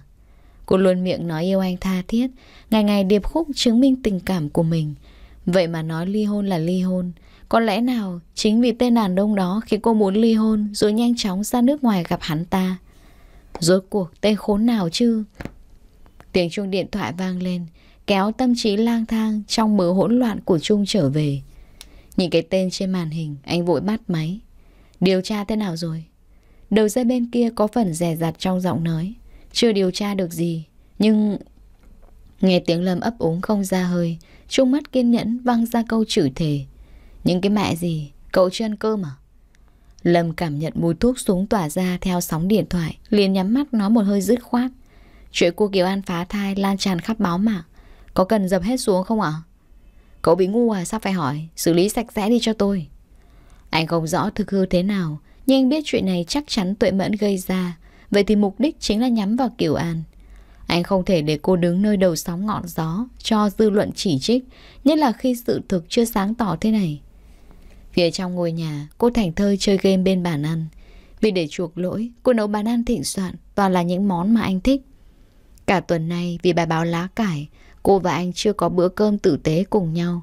Thế nên hơn 8 giờ, Cô kiên quyết ôm cái bụng giò ẩm mỹ Đợi anh về cùng ăn cơm. Giữa lúc trận game của cô đang đấu nhau gay cấn, Trên màn hình báo cuộc gọi của Tâm, Cô bắt máy để luyến tiếc. Bà cô à Sau này rảnh rỗi gọi tôi giờ này. Trái với thái độ đủng đỉnh của Kiều An. Phía bên kia, Tâm chuyển đến giọng nói lo lắng. Cậu đang ở đâu thế hả? Mình đang ở nhà chơi game đây. Giờ này cậu còn tâm trí chơi game á? Mau lên mạng mà xem tin tức. Đâu đâu cũng đưa tin Cậu ra nước ngoài phá thai kia kìa. Kiều An lúc này sững người, ngơ ngác hỏi, Phá thai gì? Tâm như chẳng nghe được câu hỏi này, Cẩn thận dặn dò Kiều An. Thời gian này cậu ấy im trong nhà mình và anh hai nghĩ cách, Nhớ là không được ra ngoài đâu đấy. Đợi Tâm nói hết câu, Kiều An tắt điện thoại lên mạng xem tin tức. Cả trang báo mạng Đầu đầu cũng thấy hình ảnh cô cùng những dòng tít mắt mắt, Như người đàn bà độc ác Tự tay giết chết con mình. Phía sau một gương mặt ngây thơ, Người đàn bà cầm thú. Một số bài đăng có cả bệnh án mang tên Kiều An làm minh chứng. Nhìn tương dòng chữ, Nước mắt cô bất giác lã trã trên màn hình điện thoại. Tâm trí không tự chủ xuyên không về quá khứ. Năm đó, do vừa bước chân đến nơi đất khách quê người Cô chưa thích ứng được với đồ ăn bên nước bạn Lại thêm vì cô miệt mài làm việc ngày đêm Quên đi cuộc hôn nhân bi thảm kia Mà dẫn tới kiệt sức đến ngất đi. Mãi tới khi được đưa vào bệnh viện Cô phát hiện mình mang thai tận 9 tuần. Vì muốn con được sinh ra trong gia đình đủ ba mẹ Vì muốn con lớn lên bình thường như những đứa trẻ khác Cô lấy hết can đảm gọi điện cho Trung, Hy vọng anh thương tình giọt máu của mình Mà cho đứa bé danh phận. Nhưng đáp lại hy vọng của cô, Một giọng nói người phụ nữ đầy tàn độc lạnh lùng. Cô nghĩ mình là ai? Con của loại rác rưởi Thì cũng chỉ là rác rưởi. Tốt nhất, cô nên xử lý cái thai Để làm lại cuộc đời. Nó sẽ không làm vướng bận chân cô. Sau này chúng tôi có cả đàn con. Thứ con rác rưởi như vậy, Sao anh ấy có thể cần? Đã đi rồi thì nên biến mất luôn đi, Đừng làm phiền chúng tôi. Khi đó, cô đứng như trời trồng, Không biết bao nhiêu lâu. Chỉ biết khi mở mắt, thấy mình nằm trên giường bệnh. Trên tay cắm đầy những dây truyền dịch, Cùng tiếng kêu tít tít từ máy móc y tế.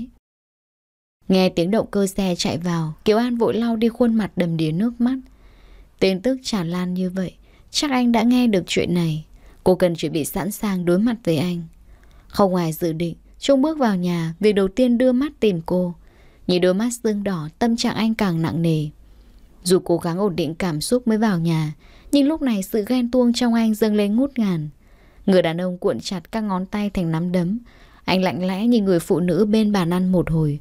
Cuối cùng, Trung lựa chọn im lặng lướt qua cô, đi thẳng vào phòng ngủ. Thực sự anh không đủ dũng khí đối mặt với cô, sợ nghe chính miệng cô thừa nhận sự việc kia lúc này. Ngay khi đôi chân dài vừa xài bước qua bàn ăn Bên tai nghe tiếng gọi ấm ức. Trung à, nghe em nói.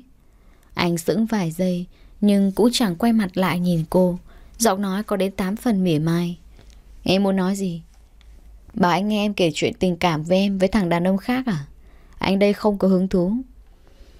Thấy bước chân anh một tiến về phía trước Kiều An vội gọi tên anh lần nữa. Phương Minh Trung. Nghe tiếng gọi xa lạ Anh không làm chủ được bản thân anh xoay người, tiếp đến ghi chặt hai tay cô trên vai, nghe răng giống lên từng chữ. Trần Kiều An, anh nói em nghe, chuyện em lúc trước anh không quản được, nhưng anh cũng có cảm giác. Anh thấy đau lòng là anh đang ghen, đang ghen với tên khốn đó. Nếu anh được nghe chuyện này từ chính miệng em, anh thấy nhẹ lòng hơn là phải nghe từ miệng người khác. Kéo tay Kiều An đặt lên ngực trái mình, rồi anh tiếp tục. Ở nơi này đang chảy máu, em có biết không hả? Nói rồi, anh nhanh chóng xoay bước vào phòng để mặc cô thẫn thờ nhìn theo bóng lưng giận dữ. Từ lời của anh cũng như lưỡi dao sắc nhọn cứa vào tim cô. Thấy anh như thế, trong lòng cô dấy lên thứ cảm xúc đau đớn vô tận. Sức mạnh của cộng đồng mạng đúng là khủng khiếp. Dù mấy bài đăng kia được cả Trung và Cao Anh tận tâm tận lực dập xuống, nhưng qua một đêm, những lời mắng chửi Kiều An vẫn gây sốt trên mạng. Thậm chí có những lời kích động tới tận công ty cô biểu tình đòi sa thải người phụ nữ độc ác. Cũng chính vì chuyện này, lượng đơn đặt hàng của thời trang An Việt giảm đi đáng kể. Tốt nhất, em ở im trong nhà xem việc tốt em gây ra. Trung buông một câu rồi lạnh lùng bước chân ra khỏi cửa. Dù câu nói chẳng lọt tai chút nào, nhưng Kiều An nghe được sự quan tâm của Trung. Chính là anh sợ cô ra ngoài gặp đám người kích động kia sẽ xảy ra chuyện ngoài ý muốn. Vì vậy mới hung dữ ra lệnh một câu. Đợi chung đánh xe ra khỏi cổng, Kiều An bật cuộc gọi nhóm cho hai anh em nhà họ Cao. Sếp Cao, thành thật xin lỗi. Lần này tôi gây họa thật rồi. Trái với sự hối lỗi của cô, Cao Anh mở lời một cách hài hước như chẳng có chuyện gì. Có họa gì ư? Tôi lại thấy vui mắt. Lâu lắm rồi chứ sảnh công ty mới nhộn nhịp như vậy. Tâm lúc này lên tiếng. Giờ anh còn đùa được đấy à? Mau mau nghĩ cách cho cô ấy đi chứ. Thở dài một hơi, Tâm than thở. Không phải chỉ nằm viện tĩnh dưỡng mấy hôm à? Sao giờ lại thành phá thai là sao chứ? Kẻ nào lại có thể độc ác tàn nhẫn như thế nhỉ? Có phải mắt mù cho nên không đọc rõ chữ không vậy? Lúc này đây, Kiều An bình tĩnh kể chuyện năm đó. Trùng hợp thai phụ giường bên cạnh của cùng họ cùng ngày tháng năm sinh với mình có điều cô ấy không may mắn bị sinh non. Tầm há hốc miệng kinh ngạc. Trời đất, Ở nước ngoài cũng gặp người như thế á. Trùng cả tên với cả ngày sinh luôn á. Trái đất này sao nhỏ bé thế nhở? Sự trùng hợp nó quá mức là nặng nề mà. Cao Anh gật gù nãy giờ Rồi sau đó lên tiếng. Vậy cô có cách gì? Tôi thì chưa có cách gì cả, Nhưng tôi biết ai muốn hại tôi rồi. Lần này nhất định tôi không buông tha cho cô ta dễ dàng nữa đâu. Trước mắt hai người có thể giúp tôi một việc được không? Quyết định của Kiều An được hai anh em nhà họ cao tán thưởng. Sau khi nhờ họ giúp đỡ một số việc trong kế hoạch của mình Kiều An đùng đỉnh lên mạng tiếp tục theo dõi scandal của mình. 8 giờ tối, tại nhà hàng sao đêm Trong một phòng bao VIP Trung liên tục ngửa cổ nuốt và dạ dày Hết ly rượu này đến ly rượu khác. Bách và hướng kinh ngạc không ngậm nổi miệng. Cuộc gọi vừa rồi của Lâm Thực sự dọa cho bọn họ mất hết cả hồn vía Theo như điều tra của Bảo Lâm Đúng là trong bệnh viện đó lưu trữ hồ sơ bệnh án của người tên Trần Kiều An có điều kết quả điều tra cho thấy không phải người này phá thai mà lại là bệnh nhân được đưa vào viện trong tình trạng hôn mê, thể trạng suy kiệt dẫn đến không giữ được đứa bé. Lâm còn báo cáo thêm, xét về thời gian, Kiều An mới ra ngoài 2 tuần mà cái thai 9 tuần. Theo lý mà nói, chính là con của Trung. Nhớ lại đoạn thời gian trước khi ly hôn, Trung không khỏi sầu não. Những ngày đó, nếu anh không thoải mái chuyện gì đều về nhà chút giận, phát tiết lên người cô, Coi cô như công cụ để làm ấm giường Coi cô là nơi thỏa mãn khi có nhu cầu. Có lẽ chính sự tức giận khi đó Khiến anh quên mất việc tránh thai. Là con anh hôn mê Thể trạng suy kiệt Sảy thai. Những câu từ kia của Bảo Lâm Chưa một giây nào ngừng vang vọng bên tai chung anh cũng không đủ bình tĩnh để rót từng ly rượu. Thay vào đó, Người đàn ông cầm từng chai liên tục kề lên miệng. Lúc này chỉ có sự nóng rác của hơi cồn át đi cảm giác xót xa tội lỗi trong anh. Chính vì anh không chịu nghe cô nói một lần, Chính anh đối xử tàn độc Mới khiến cô ra tận nước ngoài xa xôi chạy trốn. Chính anh là người hại chết đứa con chưa thành hình của mình. Tất cả do anh gây ra, Vậy mà giờ đây người bị dư luận chửi rủa là cô. Chuyện này mà nói với một người phụ nữ thì đau khổ tới mức nào? Khi đó cô không một người nhà, không bạn bè Một thân một mình tự vượt qua tất cả. Vậy nhưng cô chưa một lần nhắc đến chuyện này chưa từng trách anh một lời. Tối qua anh trở về Hai mắt cô đỏ hoe. Chắc chắn cô đã rất ấm ức Đã khóc rất nhiều. Thế nhưng anh chọn quay lưng bỏ mặc cô ở lại. Cùng lúc tâm trí chung càng sầu loạn. Các cậu nói xem Người đàn ông khốn nạn như tôi có đủ tư cách yêu cô ấy không Cả hai người thở dài Đưa ánh mắt ái ngại nhìn phía Trung Hướng lên tiếng trước Cậu nên về nhà cùng cô ấy đi Không phải lúc này cô ấy cần người bên cạnh à Bách ngồi bên nhàn rỗi nhấp ngụm rượu. Nếu cô ấy muốn, chúng ta có thể kiện người đăng tin tội vô khống, bôi nhọ danh dự người khác. Trung nghe xong thì như lóe lên tia sáng trong đầu, vội vàng vơ chùm chìa khóa rời đi. Ngồi trong nhà, Kiều An chuẩn bị sẵn sàng tất cả. Nếu muốn lôi đứa bé vào mớ lùm xùm này, vậy đến lúc cô đòi lại công bằng cho đứa bé của mình. Tuệ mẫn à, sẵn sàng trả giá đi. Buông ra một câu đầy khí lạnh, Kiều An thành thơi ngồi nhấp nháp từng ly rượu. Nghe tiếng động cơ xe quen thuộc, Kiều An rũ bỏ hàng mi dài, ngả lưng ra ghế, tiếp tục thưởng thức ly rượu trong tay. Trung vừa mở cửa vào, bị màn này đập vào mắt, anh vội lao đến giật ly rượu trong tay cô. Em làm cái gì thế? Đừng có uống nữa. Trả lại cho tôi đi. Anh về phòng mình đi. Nếu thấy tôi trướng mắt, anh về nhà anh mà ở. Trung sợ hãi nhìn đôi mắt vô hồn của Kiều An. Anh xin lỗi.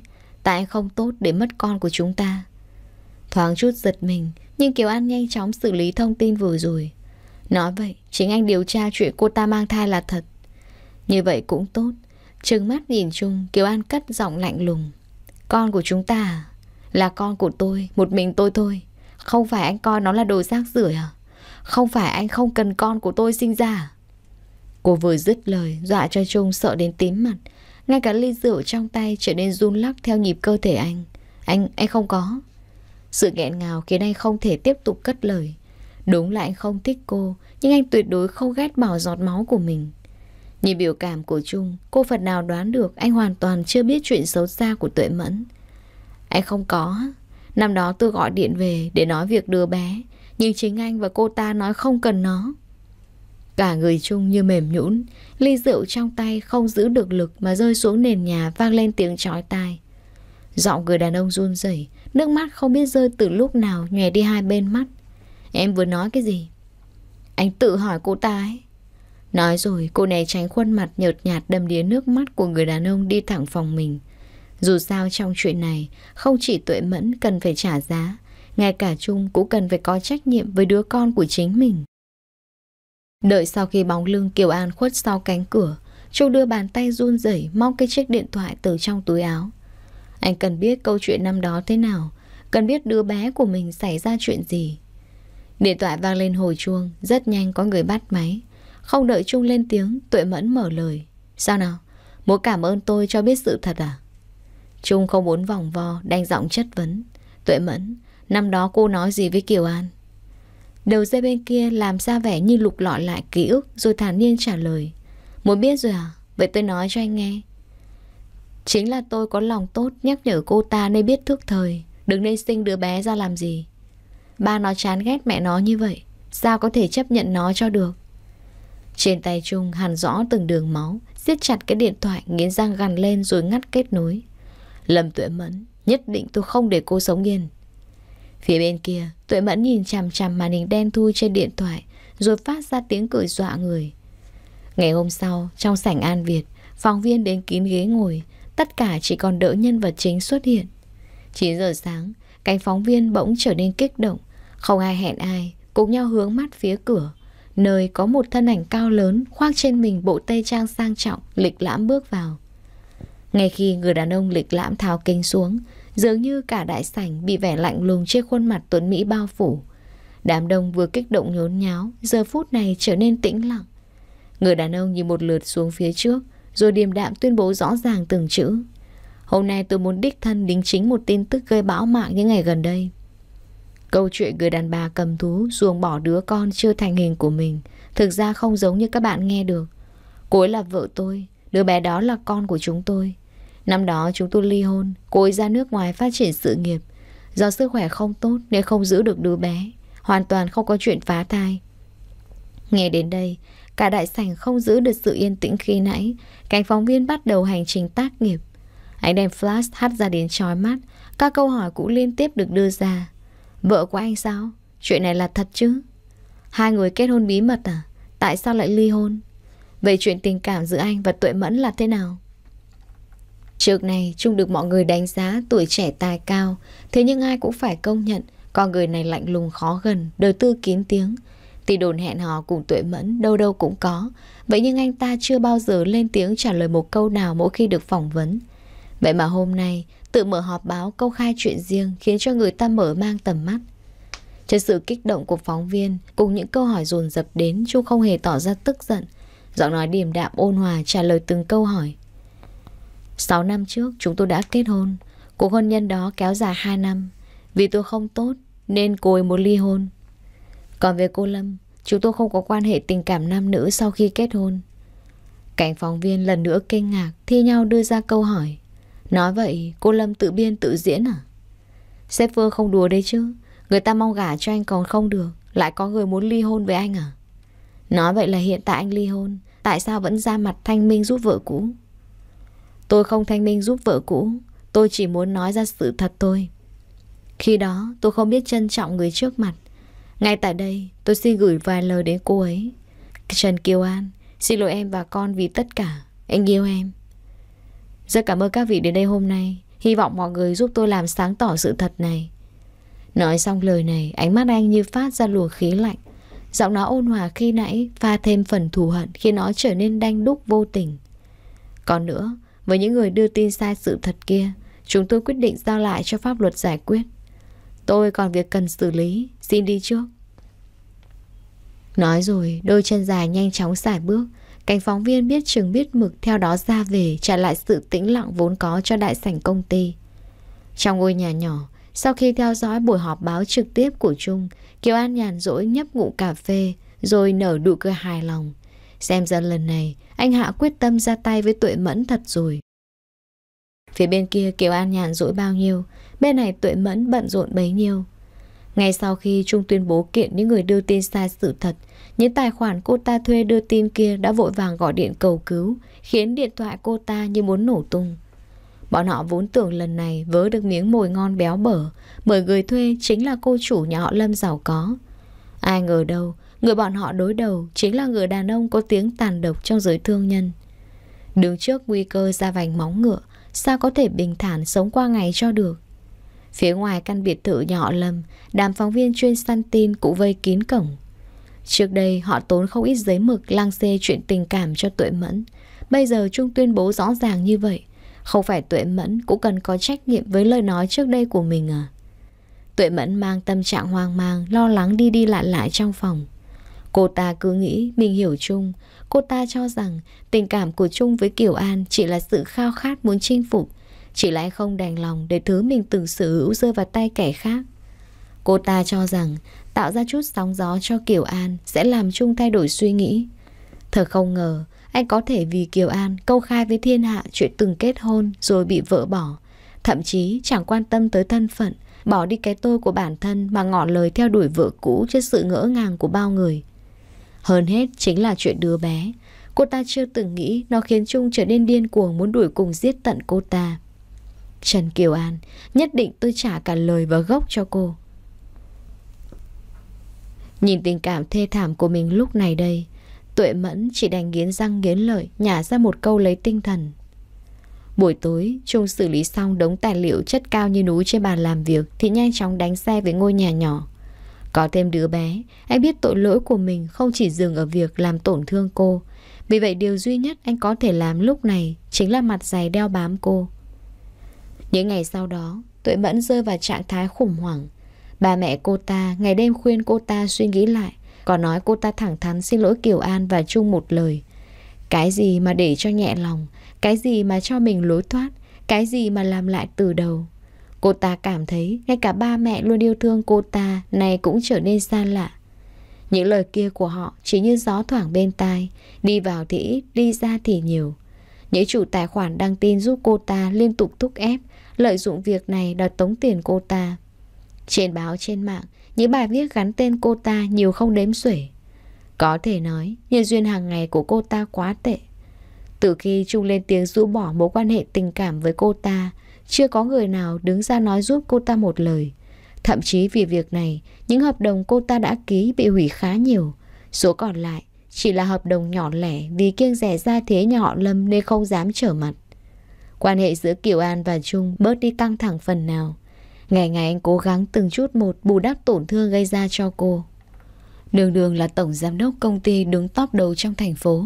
Ở bên ngoài kiêu ngạo khó chịu bao nhiêu Thì khi về nhà ôn hòa nịnh nọt Cường chiều cô bạn gái bấy nhiêu. Nếu cô nói anh đi bên trái, Anh cũng không vì có lá gan to mà dám đi bên phải. Còn về Kiều An, Vì anh công khai chuyện kết hôn với cô, Làm cuộc sống của cô có phần đảo loạn. Nhưng vì đối tượng chính là Phương Minh Trung, và trước mặt truyền thông anh trực tiếp xin lỗi mẹ con cô, Còn không cần mặt mũi ngỏ lời yêu cô Đã đánh bay những lời chửi rủa hôm nào. Thay vào đó là những lời quan tâm, động viên, Có cả những lời tán thưởng ngưỡng mộ. Dù kế hoạch của cô không diễn ra như dự định, Nhưng kết quả thu lại ngày hôm nay đủ làm cô hài lòng. Cô đã biết Trung không có ý định vứt bỏ đứa bé như cô nghĩ. Có lẽ chính vì tình phụ tử Khiến anh vì đứa con mình xuống tay dứt khoát với tuệ mẫn. Mục đích của cô, trừng phạt tuệ mẫn. Thì này, tuệ mẫn đứng nơi đầu sóng ngọn gió. Công danh sự nghiệp của cô ta Coi như đổ sông đổ bể. Cô chẳng muốn đấu đá đến cùng làm gì.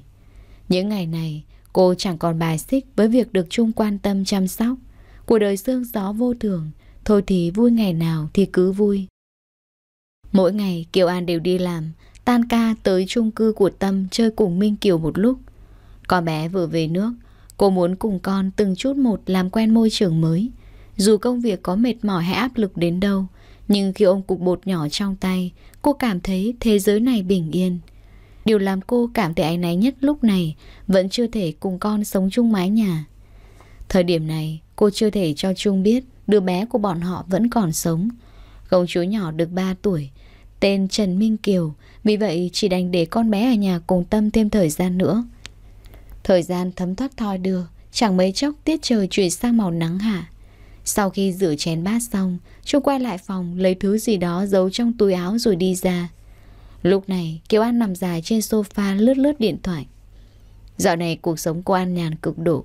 Cơm có người nấu tận nơi, Ăn xong có người thu dọn chiến trường, Thậm chí phơi đồ, dọn nhà, chẳng cần đụng tay. Việc của cô chỉ là làm việc và làm đẹp. Như vậy bảo sao người ta không ngưỡng mộ cho được? Hôm nay mệt lắm không? Kiều An lười biếng liếc mắt đi người đàn ông trước mặt rồi than thở. Mệt muốn chết, Cô ấy kéo em đi mấy vòng trung tâm thương mại. Anh nhìn này, chân em sưng hết lên rồi đây này. Vừa nói, cô đưa tay chỉ chỉ phía chân mình Là minh chứng cho lời nói. Trung nhìn mặt nhăn nhó của Kiều An, Nhị không được cúi xuống nhau nhau mấy cái, Lại tiếp tục những lời quan tâm. Còn đau ở đâu nữa? Đây, Vừa vỗ vỗ vai mình, Kiều An vừa oán trách. Đi lấy chồng thôi mà, Mua nhiều đồ như vậy làm gì không biết. Hả em xách đồ muốn gãy cánh.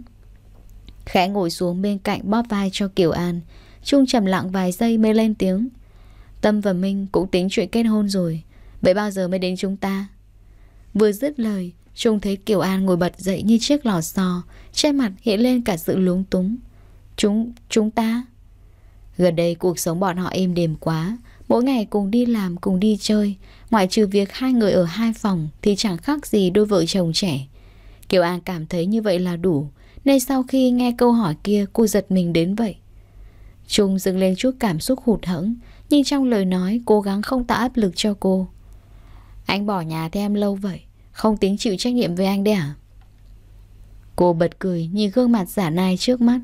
Làm như anh, Người ta gọi là vừa ăn cướp vừa la làng. Anh có thấy ai đi ăn nhờ ở đậu Mà đòi chủ nhà chịu trách nhiệm không hả? Kéo Kiều An vào lòng, Trung hạ giọng thầm thì. Anh không biết, Nhưng em nhất định phải chịu trách nhiệm với anh. Bị hơi thở của người đàn ông phảng phất bên tai Kiều An lúng túng. Cô vùng vẫy thoát khỏi vòng tay anh, Giọng nói ngang ngược che đi sự ngại ngùng. Trách nhiệm cái gì chứ?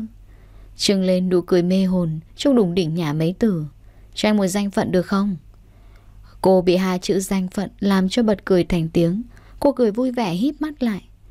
Khi đôi mắt mở ra được một chút, Kiều An ngỡ ngàng như người đàn ông quỳ gối trước mặt cô. Trên tay anh cầm chiếc nhẫn kim cương sáng chói đưa ra. Giọng nói chứa được sự chân thành và hồi hộp. Làm vợ anh nhé Nhìn ánh mắt mong chờ của Trung, Nhưng Kiều An không thể thốt lên lời nào.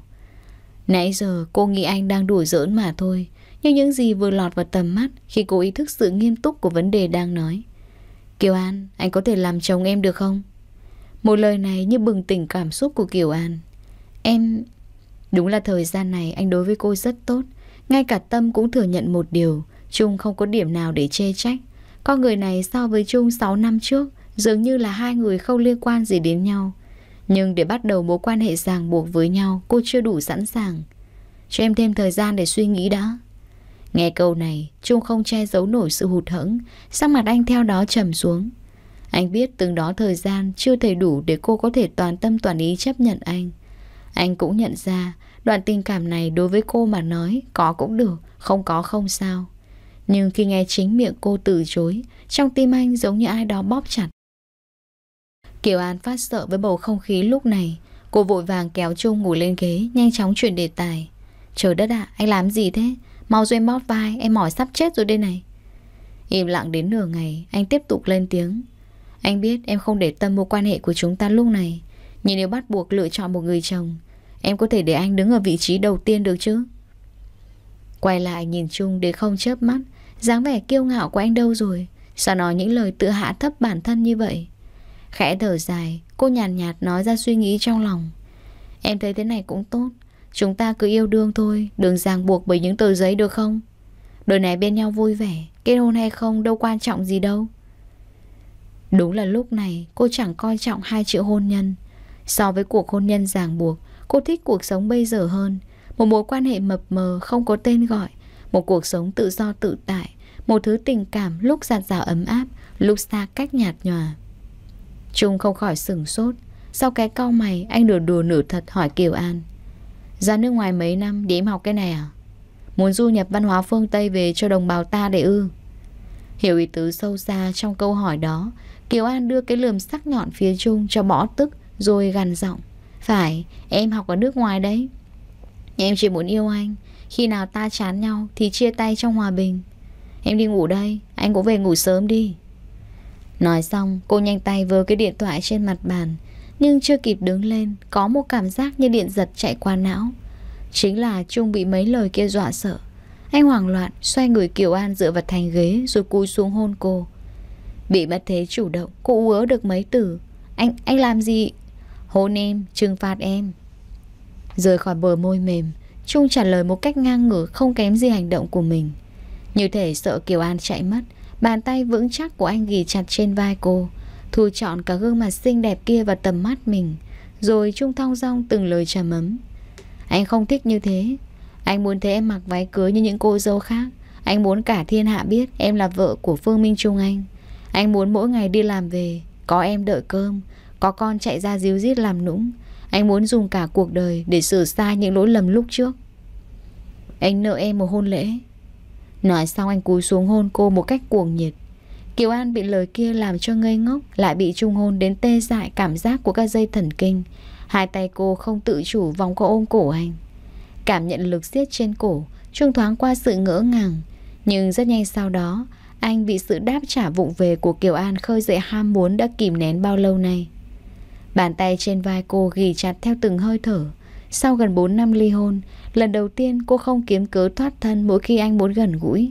Điều này khiến nụ hôn của Trung triển miên nồng cháy. Sự cấm dục trong anh cũng như được đà bay nhảy hưng phấn.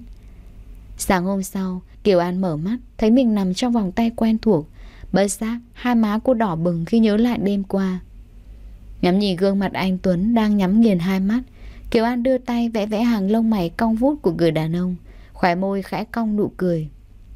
Cô cười chính bản thân mình. Cuối cùng không trừ được cái tật háo sắc mà lao vào vòng tay anh lần nữa. Em cười cái gì thế hả? Bị lời trầm ấm có phần trêu đùa của Trung làm cho giật mình. Kiều An vội lên tiếng trong sự ngại ngùng. Không phải anh đang ngủ à? Lúc này Trung mở mắt nhìn khuôn mặt như quả gấc chín trong lòng. Nhìn em làm gì? Đặt lấy chán Kiều An nụ hôn, Trung thả thính. Anh nhìn vợ mình, em cũng muốn quả nữa. Thấy Kiều An không nói gì, anh bắt đầu lươn lẹo ăn vạ. Biểu cảm này của em là sao đây? Bây giờ cả tấm thân này em lấy đi rồi. Đừng nói em định chối bỏ trách nhiệm đi nhá. Thực sự không chịu nổi bàn mặt gian xảo có một không hai của Trung. Cô nhăn nhó than thở. Em nhất định phải đào tạo con mình không được đốn mặt như ba nó. Nói xong, cô giật mình đưa tay bụ miệng để lo sợ. Sợ Trung nhận ra bí mật cô giấu giếm bấy lâu nay. Nhưng chuyển đến tai cô, giọng nói đầy hưng phấn. Nói về là em sinh con cho anh đúng không?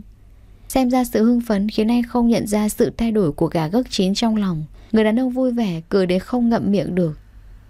Coi như thoát một kiếp đạn, cô vội dục anh bớt đi sự hoang tưởng để chuẩn bị đi làm. Em vui quên mất ngày tháng rồi đấy à? Hôm nay cuối tuần. Hả? Quên gì đâu mà quên, có việc thật đấy nhá. Nghe rõ từng từ, nhưng cơ thể của anh lúc này cực kỳ lười biếng. Vòng tay chỉ muốn siết chặt người trong lòng chứ không muốn bắt đầu ngày mới. Thấy Trung từ từ khép lại bờ mi, cô bày ra khổ nhục kế. Em đói rồi, đêm qua mệt lắm đấy. Trên môi anh bật lên nụ cười tuấn Mỹ dịu dàng. Anh chưa từng biết giọng điệu làm nũng của cô giống con nít như vậy. Em muốn ăn cơm, sắp chết đói thật rồi. Cuối cùng anh cũng chỉ đành nhéo nhéo trên làn da trắng hồng trên má Kiều An mấy cái rồi ngoan ngoãn dậy nấu ăn. Ăn xong, Kiều An cùng trung đến chỗ của Tâm. Cô muốn để công chúa nhỏ làm quen với ba trước khi cho anh biết sự thật. Tâm sắp kết hôn, cô không thể để con bé ở chỗ Tâm mãi được. Và suy cho cùng, cô không thể che giấu chuyện con bé cả đời. Vừa tới nơi, Tâm thể hiện vai diễn đỉnh cao, bắt nhịp ăn khớt cùng Kiều An. Có mẹ cứ khóc mếu đòi cậu thôi đấy. Quay sang nhìn chung, Tâm tiếp tục diễn. Mình Kiều là con gái người bạn của tôi Mẹ nó có việc mới gửi một hôm Mà nó liên tục đòi mẹ Kiều An Nên chỉ có thể đành làm phiền hai người Trung đang ngỡ ngàng Vì ba chữ mẹ Kiều An lại thấy cô bé mũm mĩm bước ra từ phòng ngủ, Tâm theo đó dặn dò con bé. Kiều à Mẹ Kiều An của con đến rồi đấy, Mẹ ra ngoài có chút việc nhé Dứt lời, cô nhanh chân khuất bóng sau cánh cửa. Trung nhìn cô bé trước mặt đầy kinh ngạc. Miệng người đàn ông lắp bắp không nên lời. Tại tại sao tiểu tiểu tuệ? Kiều An vừa nhìn thấy sự khác lạ của Trung, Bên tai cô vang lên giọng nói trong trẻo. Mẹ Kiều An à Mình Kiều nhớ mẹ. Mẹ Tâm nó hôm nay mẹ chơi cùng con cả ngày đúng không? Nhanh chóng tiến lại ôm cục bột nhỏ trong lòng, Kiều An cười dịu dàng vỗ về con bé. Hôm nay mẹ ở cùng con cả ngày, Chúng ta cùng đi chơi. Nói rồi cô nhìn Trung nãy giờ đứng như trời trồng phía bàn trà. Trung à lại đây. Bế Kiều lên, Cô quay sang nói với con bé. Đây là bạn mẹ, Lát nữa chú ấy làm tài xế đưa chúng ta đi chơi được chứ? Nhìn Minh Kiều cười híp cả mắt Hai tay vỗ tanh tách như tán thưởng lời mẹ nó Mà Kiều An không khỏi thở dài. Sao lại háo sắc giống mẹ thế này chứ? Bình thường nó kén người là vậy. Ngay cả cô bảo mẫu hay cô giáo cũng mất thời gian dài để nói chấp nhận. Kiều An còn nghĩ không biết nói thế nào nó đồng ý sự có mặt của Trung.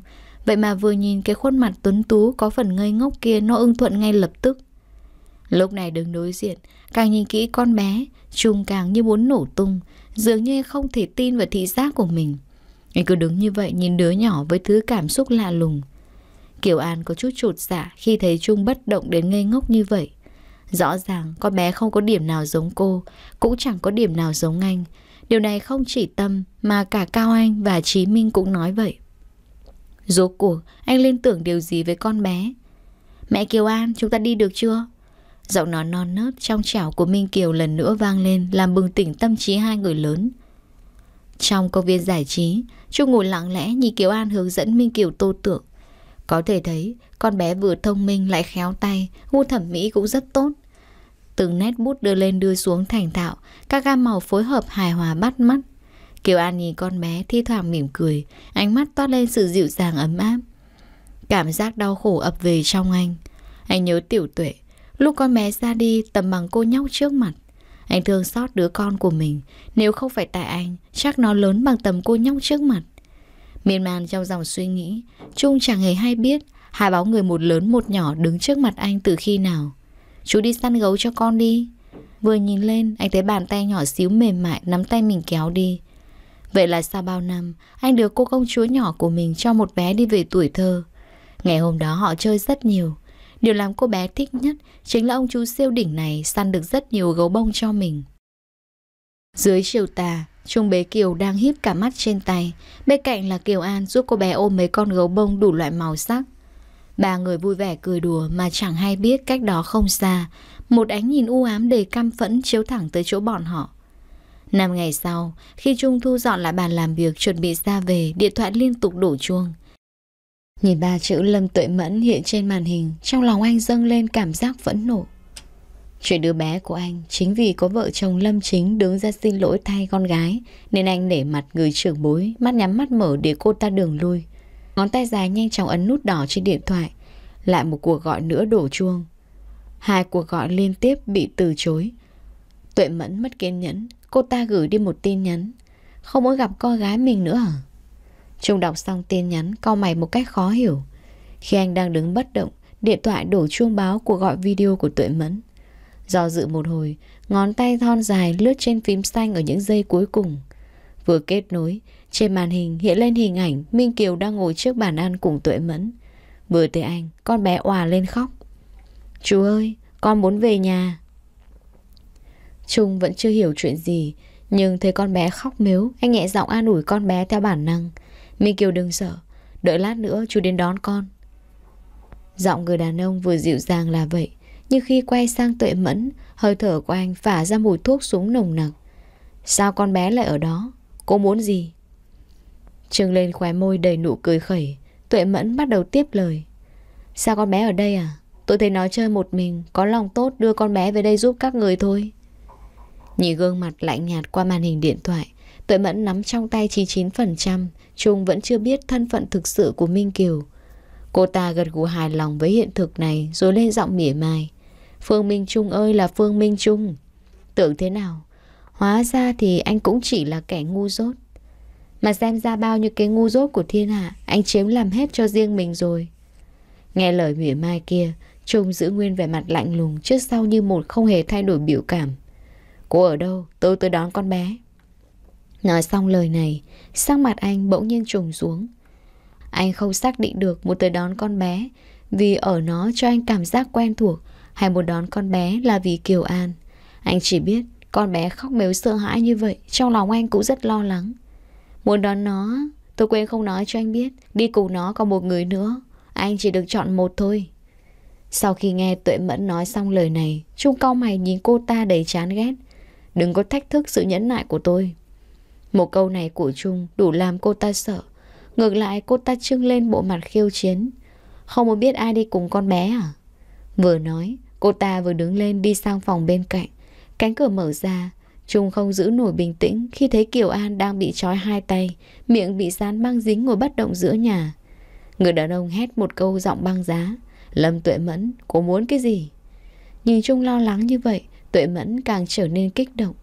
Cô ta lớn tiếng cười, rồi nhả ra địa chỉ cùng lời đe dọa. Chỉ được đến một mình, sau 30 phút anh không có mặt, tôi mang cô ta tặng cho mấy tên vệ sĩ bên ngoài. Sau khi gọi điện nhờ bác giúp đỡ, Trung vội rời khỏi công ty theo địa chỉ Tuệ Mẫn nói.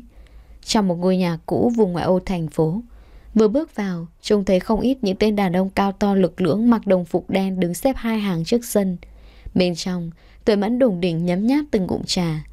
Thấy bóng dáng quen thuộc đi vào, cô ta đặt tách trà trong tay xuống bàn, trên môi nở nụ cười thích thú.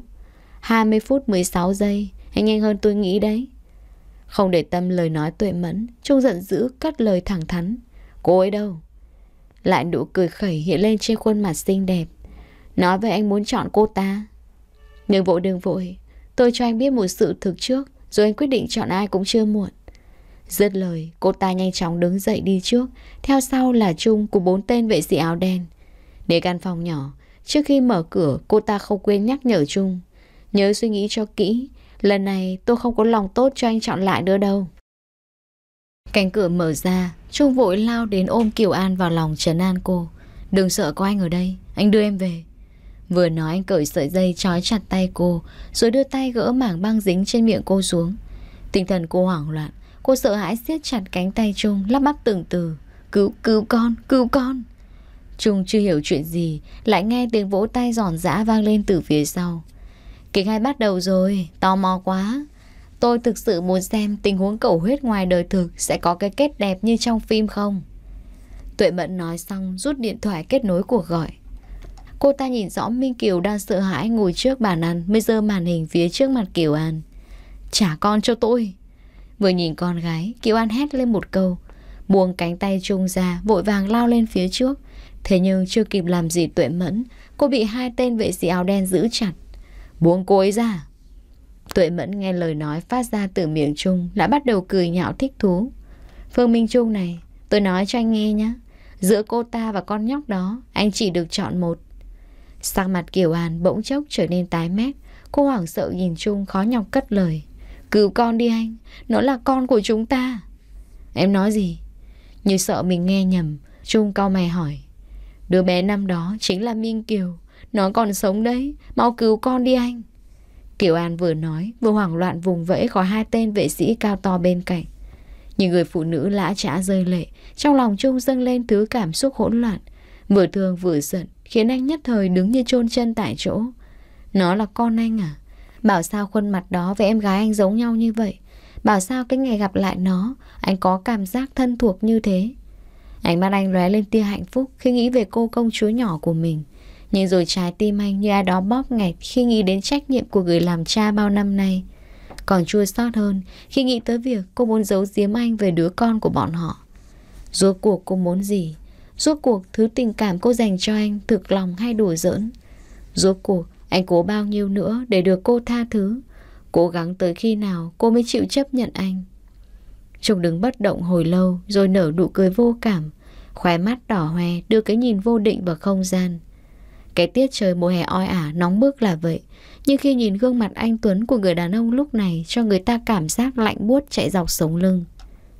Trong sự tĩnh lặng của căn phòng nhỏ, Trung cất giọng trầm khàn đưa ra lựa chọn của mình. Thả con bé ra. Các ngón tay dài cuộn chặt thành quyền. Anh lướt nhìn qua Kiều An một lượt, Rồi xoay người rời đi. Cánh cửa phòng đóng lại, Bên trong chỉ còn tiếng cười man dợ. Tuệ mẫn đắc chí nhìn cơ thể Kiều An mệt mỏi Ngồi sụp xuống nền nhà.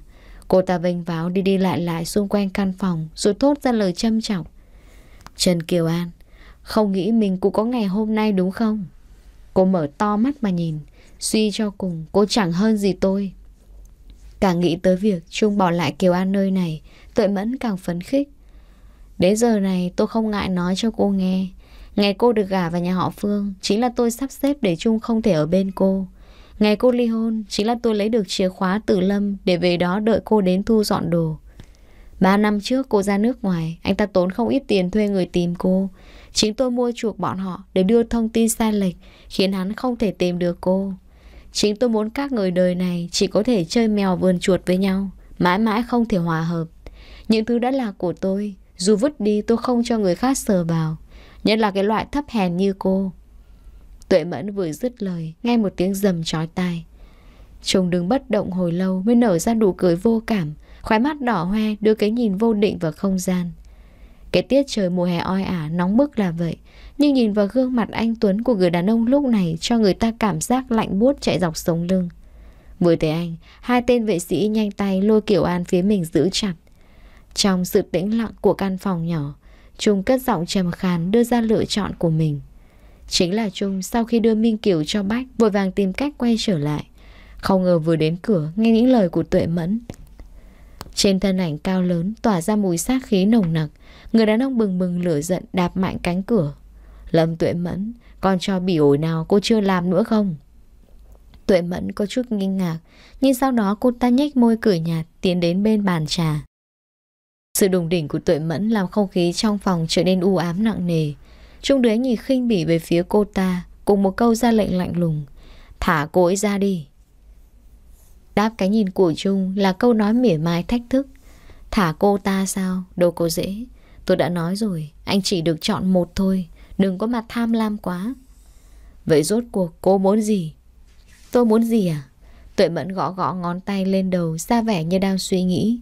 Trước thái độ này của Tuệ Mẫn, Trung thực sự không còn kiên nhẫn. Anh như con thú khát mồi lao về phía hai tên vệ sĩ giữ Kiều An. Một tên vệ sĩ tiến lên trước phản đòn. Hắn ta luôn nghĩ mấy đám cậu ấm cô chiêu ngoài việc có nhiều tiền ra thì cũng chẳng có tài năng gì đáng nói. Nhưng thực không ngờ chưa tới 2 phút hắn bị Trung khống chế. Tuệ Mẫn nãy giờ ung dung ngồi uống trà xem giao đấu. Thấy tên kia nhanh chóng bị hạ gục, cô ta hất tay ra hiệu tên kia hỗ trợ. Bao năm quen nhau, cô ta chưa từng biết Trung có thân thủ tốt như vậy. Ngày hôm nay, nhân cơ hội này, cô ta muốn xem anh giỏi đến đâu. Được đồng bọn hỗ trợ, tên vệ sĩ lúc này nhanh chóng phản đòn thoát khỏi sự khống chế trong tay Trung. Lúc này cuộc giao chiến bắt đầu không cân sức. Đối thủ có hai người, trong khi Trung vừa dồn lực chiến đấu, lại phải để mắt bảo vệ Kiều An. Phía bên ngoài, hướng của đội cảnh sát địa phương tiến dần vào ngôi nhà. Bên trong căn phòng, một người phụ nữ sợ hãi đứng run rẩy sát góc tường. Một người nhàn nhã ngồi thưởng thức hết chén trà này đến chén trà khác. Thì thoảng cô ta vỗ tay tán thưởng cuộc giao chiến. Trải qua 5 phút đồng hồ. Nhưng Trung chưa hề tỏ ra lao lực. Thân ảnh cao lớn liên tục né đòn rồi tung trưởng chính xác tuyệt đối. Nhìn người của mình mỗi lúc một yếu thế, sắc mặt tuệ mẫn dần trở nên xám xịt. Cái khí thế hống hách tự đắc khi nãy chẳng biết đã biến mất khi nào. Đúng là một lũ ăn hại. Tuệ mẫn tức giận, nghiến răng nghiến lợi giết lên một câu sau khi nhìn một tên vệ sĩ bị đánh lảo đảo lùi lại phía sau mấy bước. Một tên bị quật ngã nằm bất động dưới nền nhà. Tưởng như cuộc chiến đến đây kết thúc, không ngờ tên kia sau khi lấy lại thăng bằng lại gầm rú lao lên lần nữa. Trong lúc hai người đàn ông chiến đấu sống còn, tuệ mẫn lóe lên suy nghĩ độc ác trong đầu. Sau khi đặt chén trà trong tay xuống bàn, cô ta vơ vội con dao gọt hoa quả trên bàn lao về phía Kiều An. Cánh tay cầm dao giơ lên không trung, rồi dùng hết sức lực bản thân hạ một đường thẳng xuống trước mặt. Một tiếng hét chói tai vang lên.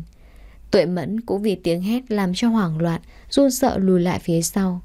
Kiều An giơ bàn tay nhuốm màu máu tươi lên trước mặt Rồi hoảng loạn gọi tên người đàn ông gục trên vai mình Vừa rồi chính Trung nhìn thấy Tuệ Mẫn cầm dao lao đến chỗ Kiều Anh không kịp ngăn cô ta lại Nên chỉ đành lấy thân mình chắn trước mặt Kiều An Cảm giác đau dữ dội ập đến Trung cảm thấy hai chân anh như mềm nhũn Cả cơ thể không còn sức lực Đừng, đừng sợ Nói chưa hết câu Người đàn ông nhắm nghiền hai mắt Cứ thế lịm đi trên vai Kiều An Đừng ngủ, anh mở mắt ra đi mà. Trung à? Thấy Trung mất tỉnh táo, Kiều An càng sợ. Cảm giác tội lỗi dâng lên mãnh liệt. Nếu cô chịu để ba con họ nhận nhau, có lẽ Tuệ Mẫn không có cơ hội này rồi. Nếu không vì đỡ nhát dao kia thay cô, anh cũng không thành ra thế này. Sau khi giải quyết xong đám vệ sĩ canh dưới nhà, từ hướng của đội cảnh sát tìm đến nơi, không khí trong căn phòng sộc lên mũi họ một mùi máu tươi tanh nồng. Trong bệnh viện, từ hướng và Bách liên tục đi đi lại lại trước cửa phòng cấp cứu. Kiều An không ngừng run rẩy, được tâm ôm chặt trong lòng. Sự tĩnh lặng của màn đêm, cùng khí trời oi ả của mùa hạ làm cho người ta thêm phần bức bối. Một tiếng đồng hồ trôi qua, cánh cửa phòng cấp cứu đóng chặt. Hơn một giờ đêm, đoàn người trong phòng cấp cứu lần lượt bước ra. Bác sĩ à, anh ấy sao rồi? Đáp lại sự mong chờ của Kiều An Chỉ là sự tĩnh lặng Cùng cái lắc đầu lặng lẽ Vị bác sĩ già trầm giọng cất lời Xin lỗi, chúng tôi đã cố gắng hết sức Hai tay cô như ù đi Cô không nghe được thứ âm thanh gì đang phát ra nữa Trước mắt cô chỉ còn lại màu đen tối, Cơ thể mệt mỏi không giữ được thăng bằng từ từ đổ xuống. Hai năm sau, Trong ngôi nhà rộng lớn giữa trung tâm thành phố, Minh Kiều chạy xung quanh nô đùa cùng ông bà cụ. Sự ra đi của Trung khiến hai người già trở nên suy sụp. Chính vì có Minh Kiều, Họ mới lấy lại được tinh thần tiếp tục sống tới hôm nay. Có bé là món quà vô giá Thượng đế ban cho họ ở tuổi xế chiều mỗi ngày ông bà cụ xem con bé như viên ngọc Minh Châu nâng niu cưng chiều. Trong tiết trời cuối thu xe xe lạnh, từng cơn gió nhẹ nhàng thổi qua. Người phụ nữ xinh đẹp trầm lặng ngồi trước bia mộ người đàn ông khuôn mặt tuấn Mỹ. Những năm nay, cô thấy anh chăm sóc ông bà, nuôi dạy Minh Kiều, còn thấy anh phát triển An Việt không ngừng lớn mạnh. Dù công việc bận rộn đến đâu, mỗi chiều chủ nhật, cô dành thời gian bên anh, mặc thời tiết mưa rông hay nắng cháy. Mỗi lần đến, Cô kể cho anh nghe nhiều chuyện. Cô kể anh nghe chuyện công ty, kể anh nghe người bạn bách của anh cuối cùng từ bỏ cuộc chơi ngoan ngoãn cưới về cô vợ Tây xinh đẹp. Hướng thì đã thừa kế gia nghiệp nhà họ Từ. Cô kể Tâm và Minh đón một em bé kháu khỉnh. Cao Anh ra lại công ty cho em gái, sang Mỹ tìm cô bạn gái đã không gặp nhiều năm. Cô còn nói, tuổi mẫn sau khi lĩnh án đã phát điên trong lao tù. Ngày hôm nay tới thăm anh, cô mang theo loài hoa anh thích, rồi trầm lặng ngắm nhìn gương mặt tuấn Mỹ trên bia đá. Hôm nay cô không kể cho anh nghe Chỉ ngắm nhìn anh rồi bật khóc Giọng nói run rẩy theo từng tiếng nấc. Em nhớ anh, rất rất nhớ anh. Cô nhớ anh Nhớ những bữa cơm anh nấu Nhớ mỗi sáng cùng anh đi làm Nhớ cả mỗi tối có anh kể bên. Từng hình ảnh sống cùng anh trong ngôi nhà nhỏ ven thành phố Như những thước phim lần lượt hiện trong đầu. Mỗi lúc tiếng khóc của cô càng thê lương. Hai năm qua Cô cố gắng mạnh mẽ làm chỗ dựa cho ông bà, Cố gắng mạnh mẽ nuôi dạy cô công chúa nhỏ, Cố gắng then gánh vác gia sản nhà họ Phương. Thế nhưng ngày hôm nay, ngồi trước mặt anh, Cô không kiềm chế được cảm xúc của bản thân. Cô thấy trống vắng, Thấy cô đơn lạc lõng, Thấy hối hận cho sự ích kỷ của bản thân mình. Chính vì cô lo sợ, Nếu bọn họ không đi tới đâu, Anh sẽ cướp mất công chúa nhỏ khỏi tay cô, Nên cô cứ mãi đắn đo không cho anh biết sự thật. Trung à Em sai rồi. Cuộc đời này em nợ nhà họ Phương quá nhiều rồi. Em mang ơn dưỡng dục của ông bà. Em nợ anh một mạng sống. Nói xong, cô đau khổ gục đầu lên tấm bia đá lạnh lẽo, Mặc cho tiếng khóc vỡ hòa nức nở. Trong nghĩa trang vắng lặng, Từng cơn gió thu nhẹ nhàng Mang theo âm thanh trầm ấm truyền đến tai Kiều An. Lại tiếng gọi nữa vang lên. Lúc này cô thực sự tin vào thính giác của mình. Cô đưa tay lau vội khuôn mặt đẫm lệ, Rồi ngơ ngác nhìn xung quanh. Xa xa, bóng người cao lớn từng bước tiến phía cô. Kiều An thẫn thờ như bóng dáng ấy rồi lảo đảo đứng lên. Càng lúc bóng dáng càng đến gần, còn Kiều An cứ thất kinh ngây ngốc tại chỗ. Anh về rồi. Cô nhìn người đàn ông trước mặt rồi nhìn khuôn mặt tuấn Mỹ trên bia đá. Nước mắt không biết từ khi nào lại đầm đìa trên gương mặt trắng bệch. Cô sợ hãi đưa tay bụng miệng rồi lạng trọng lùi lại từng bước. Có phải vì cô thương nhớ anh quá nên sinh ra ảo giác không? Hay ông trời muốn trừng phạt sự ích kỷ của cô. Mang theo dòng suy nghĩ miên man Cô nhắm mắt lại Mặc cho cơ thể mềm nhũn từ từ ngã xuống. 7 giờ tối Kiều An mệt mỏi mở mắt nhìn quanh. Đây rõ ràng là phòng của cô Mọi thứ rất quen thuộc. Em tỉnh rồi. Giọng nói người đàn ông cho cô biết Đây không phải là mơ. Anh, anh là ai? Cô nắm chặt tấm chăn trong tay Lấy hết can đảm lên tiếng anh là bạn trai em, Anh là Phương Minh Trung. Nghe lời này, ánh mắt long lanh bắt đầu rơi lệ.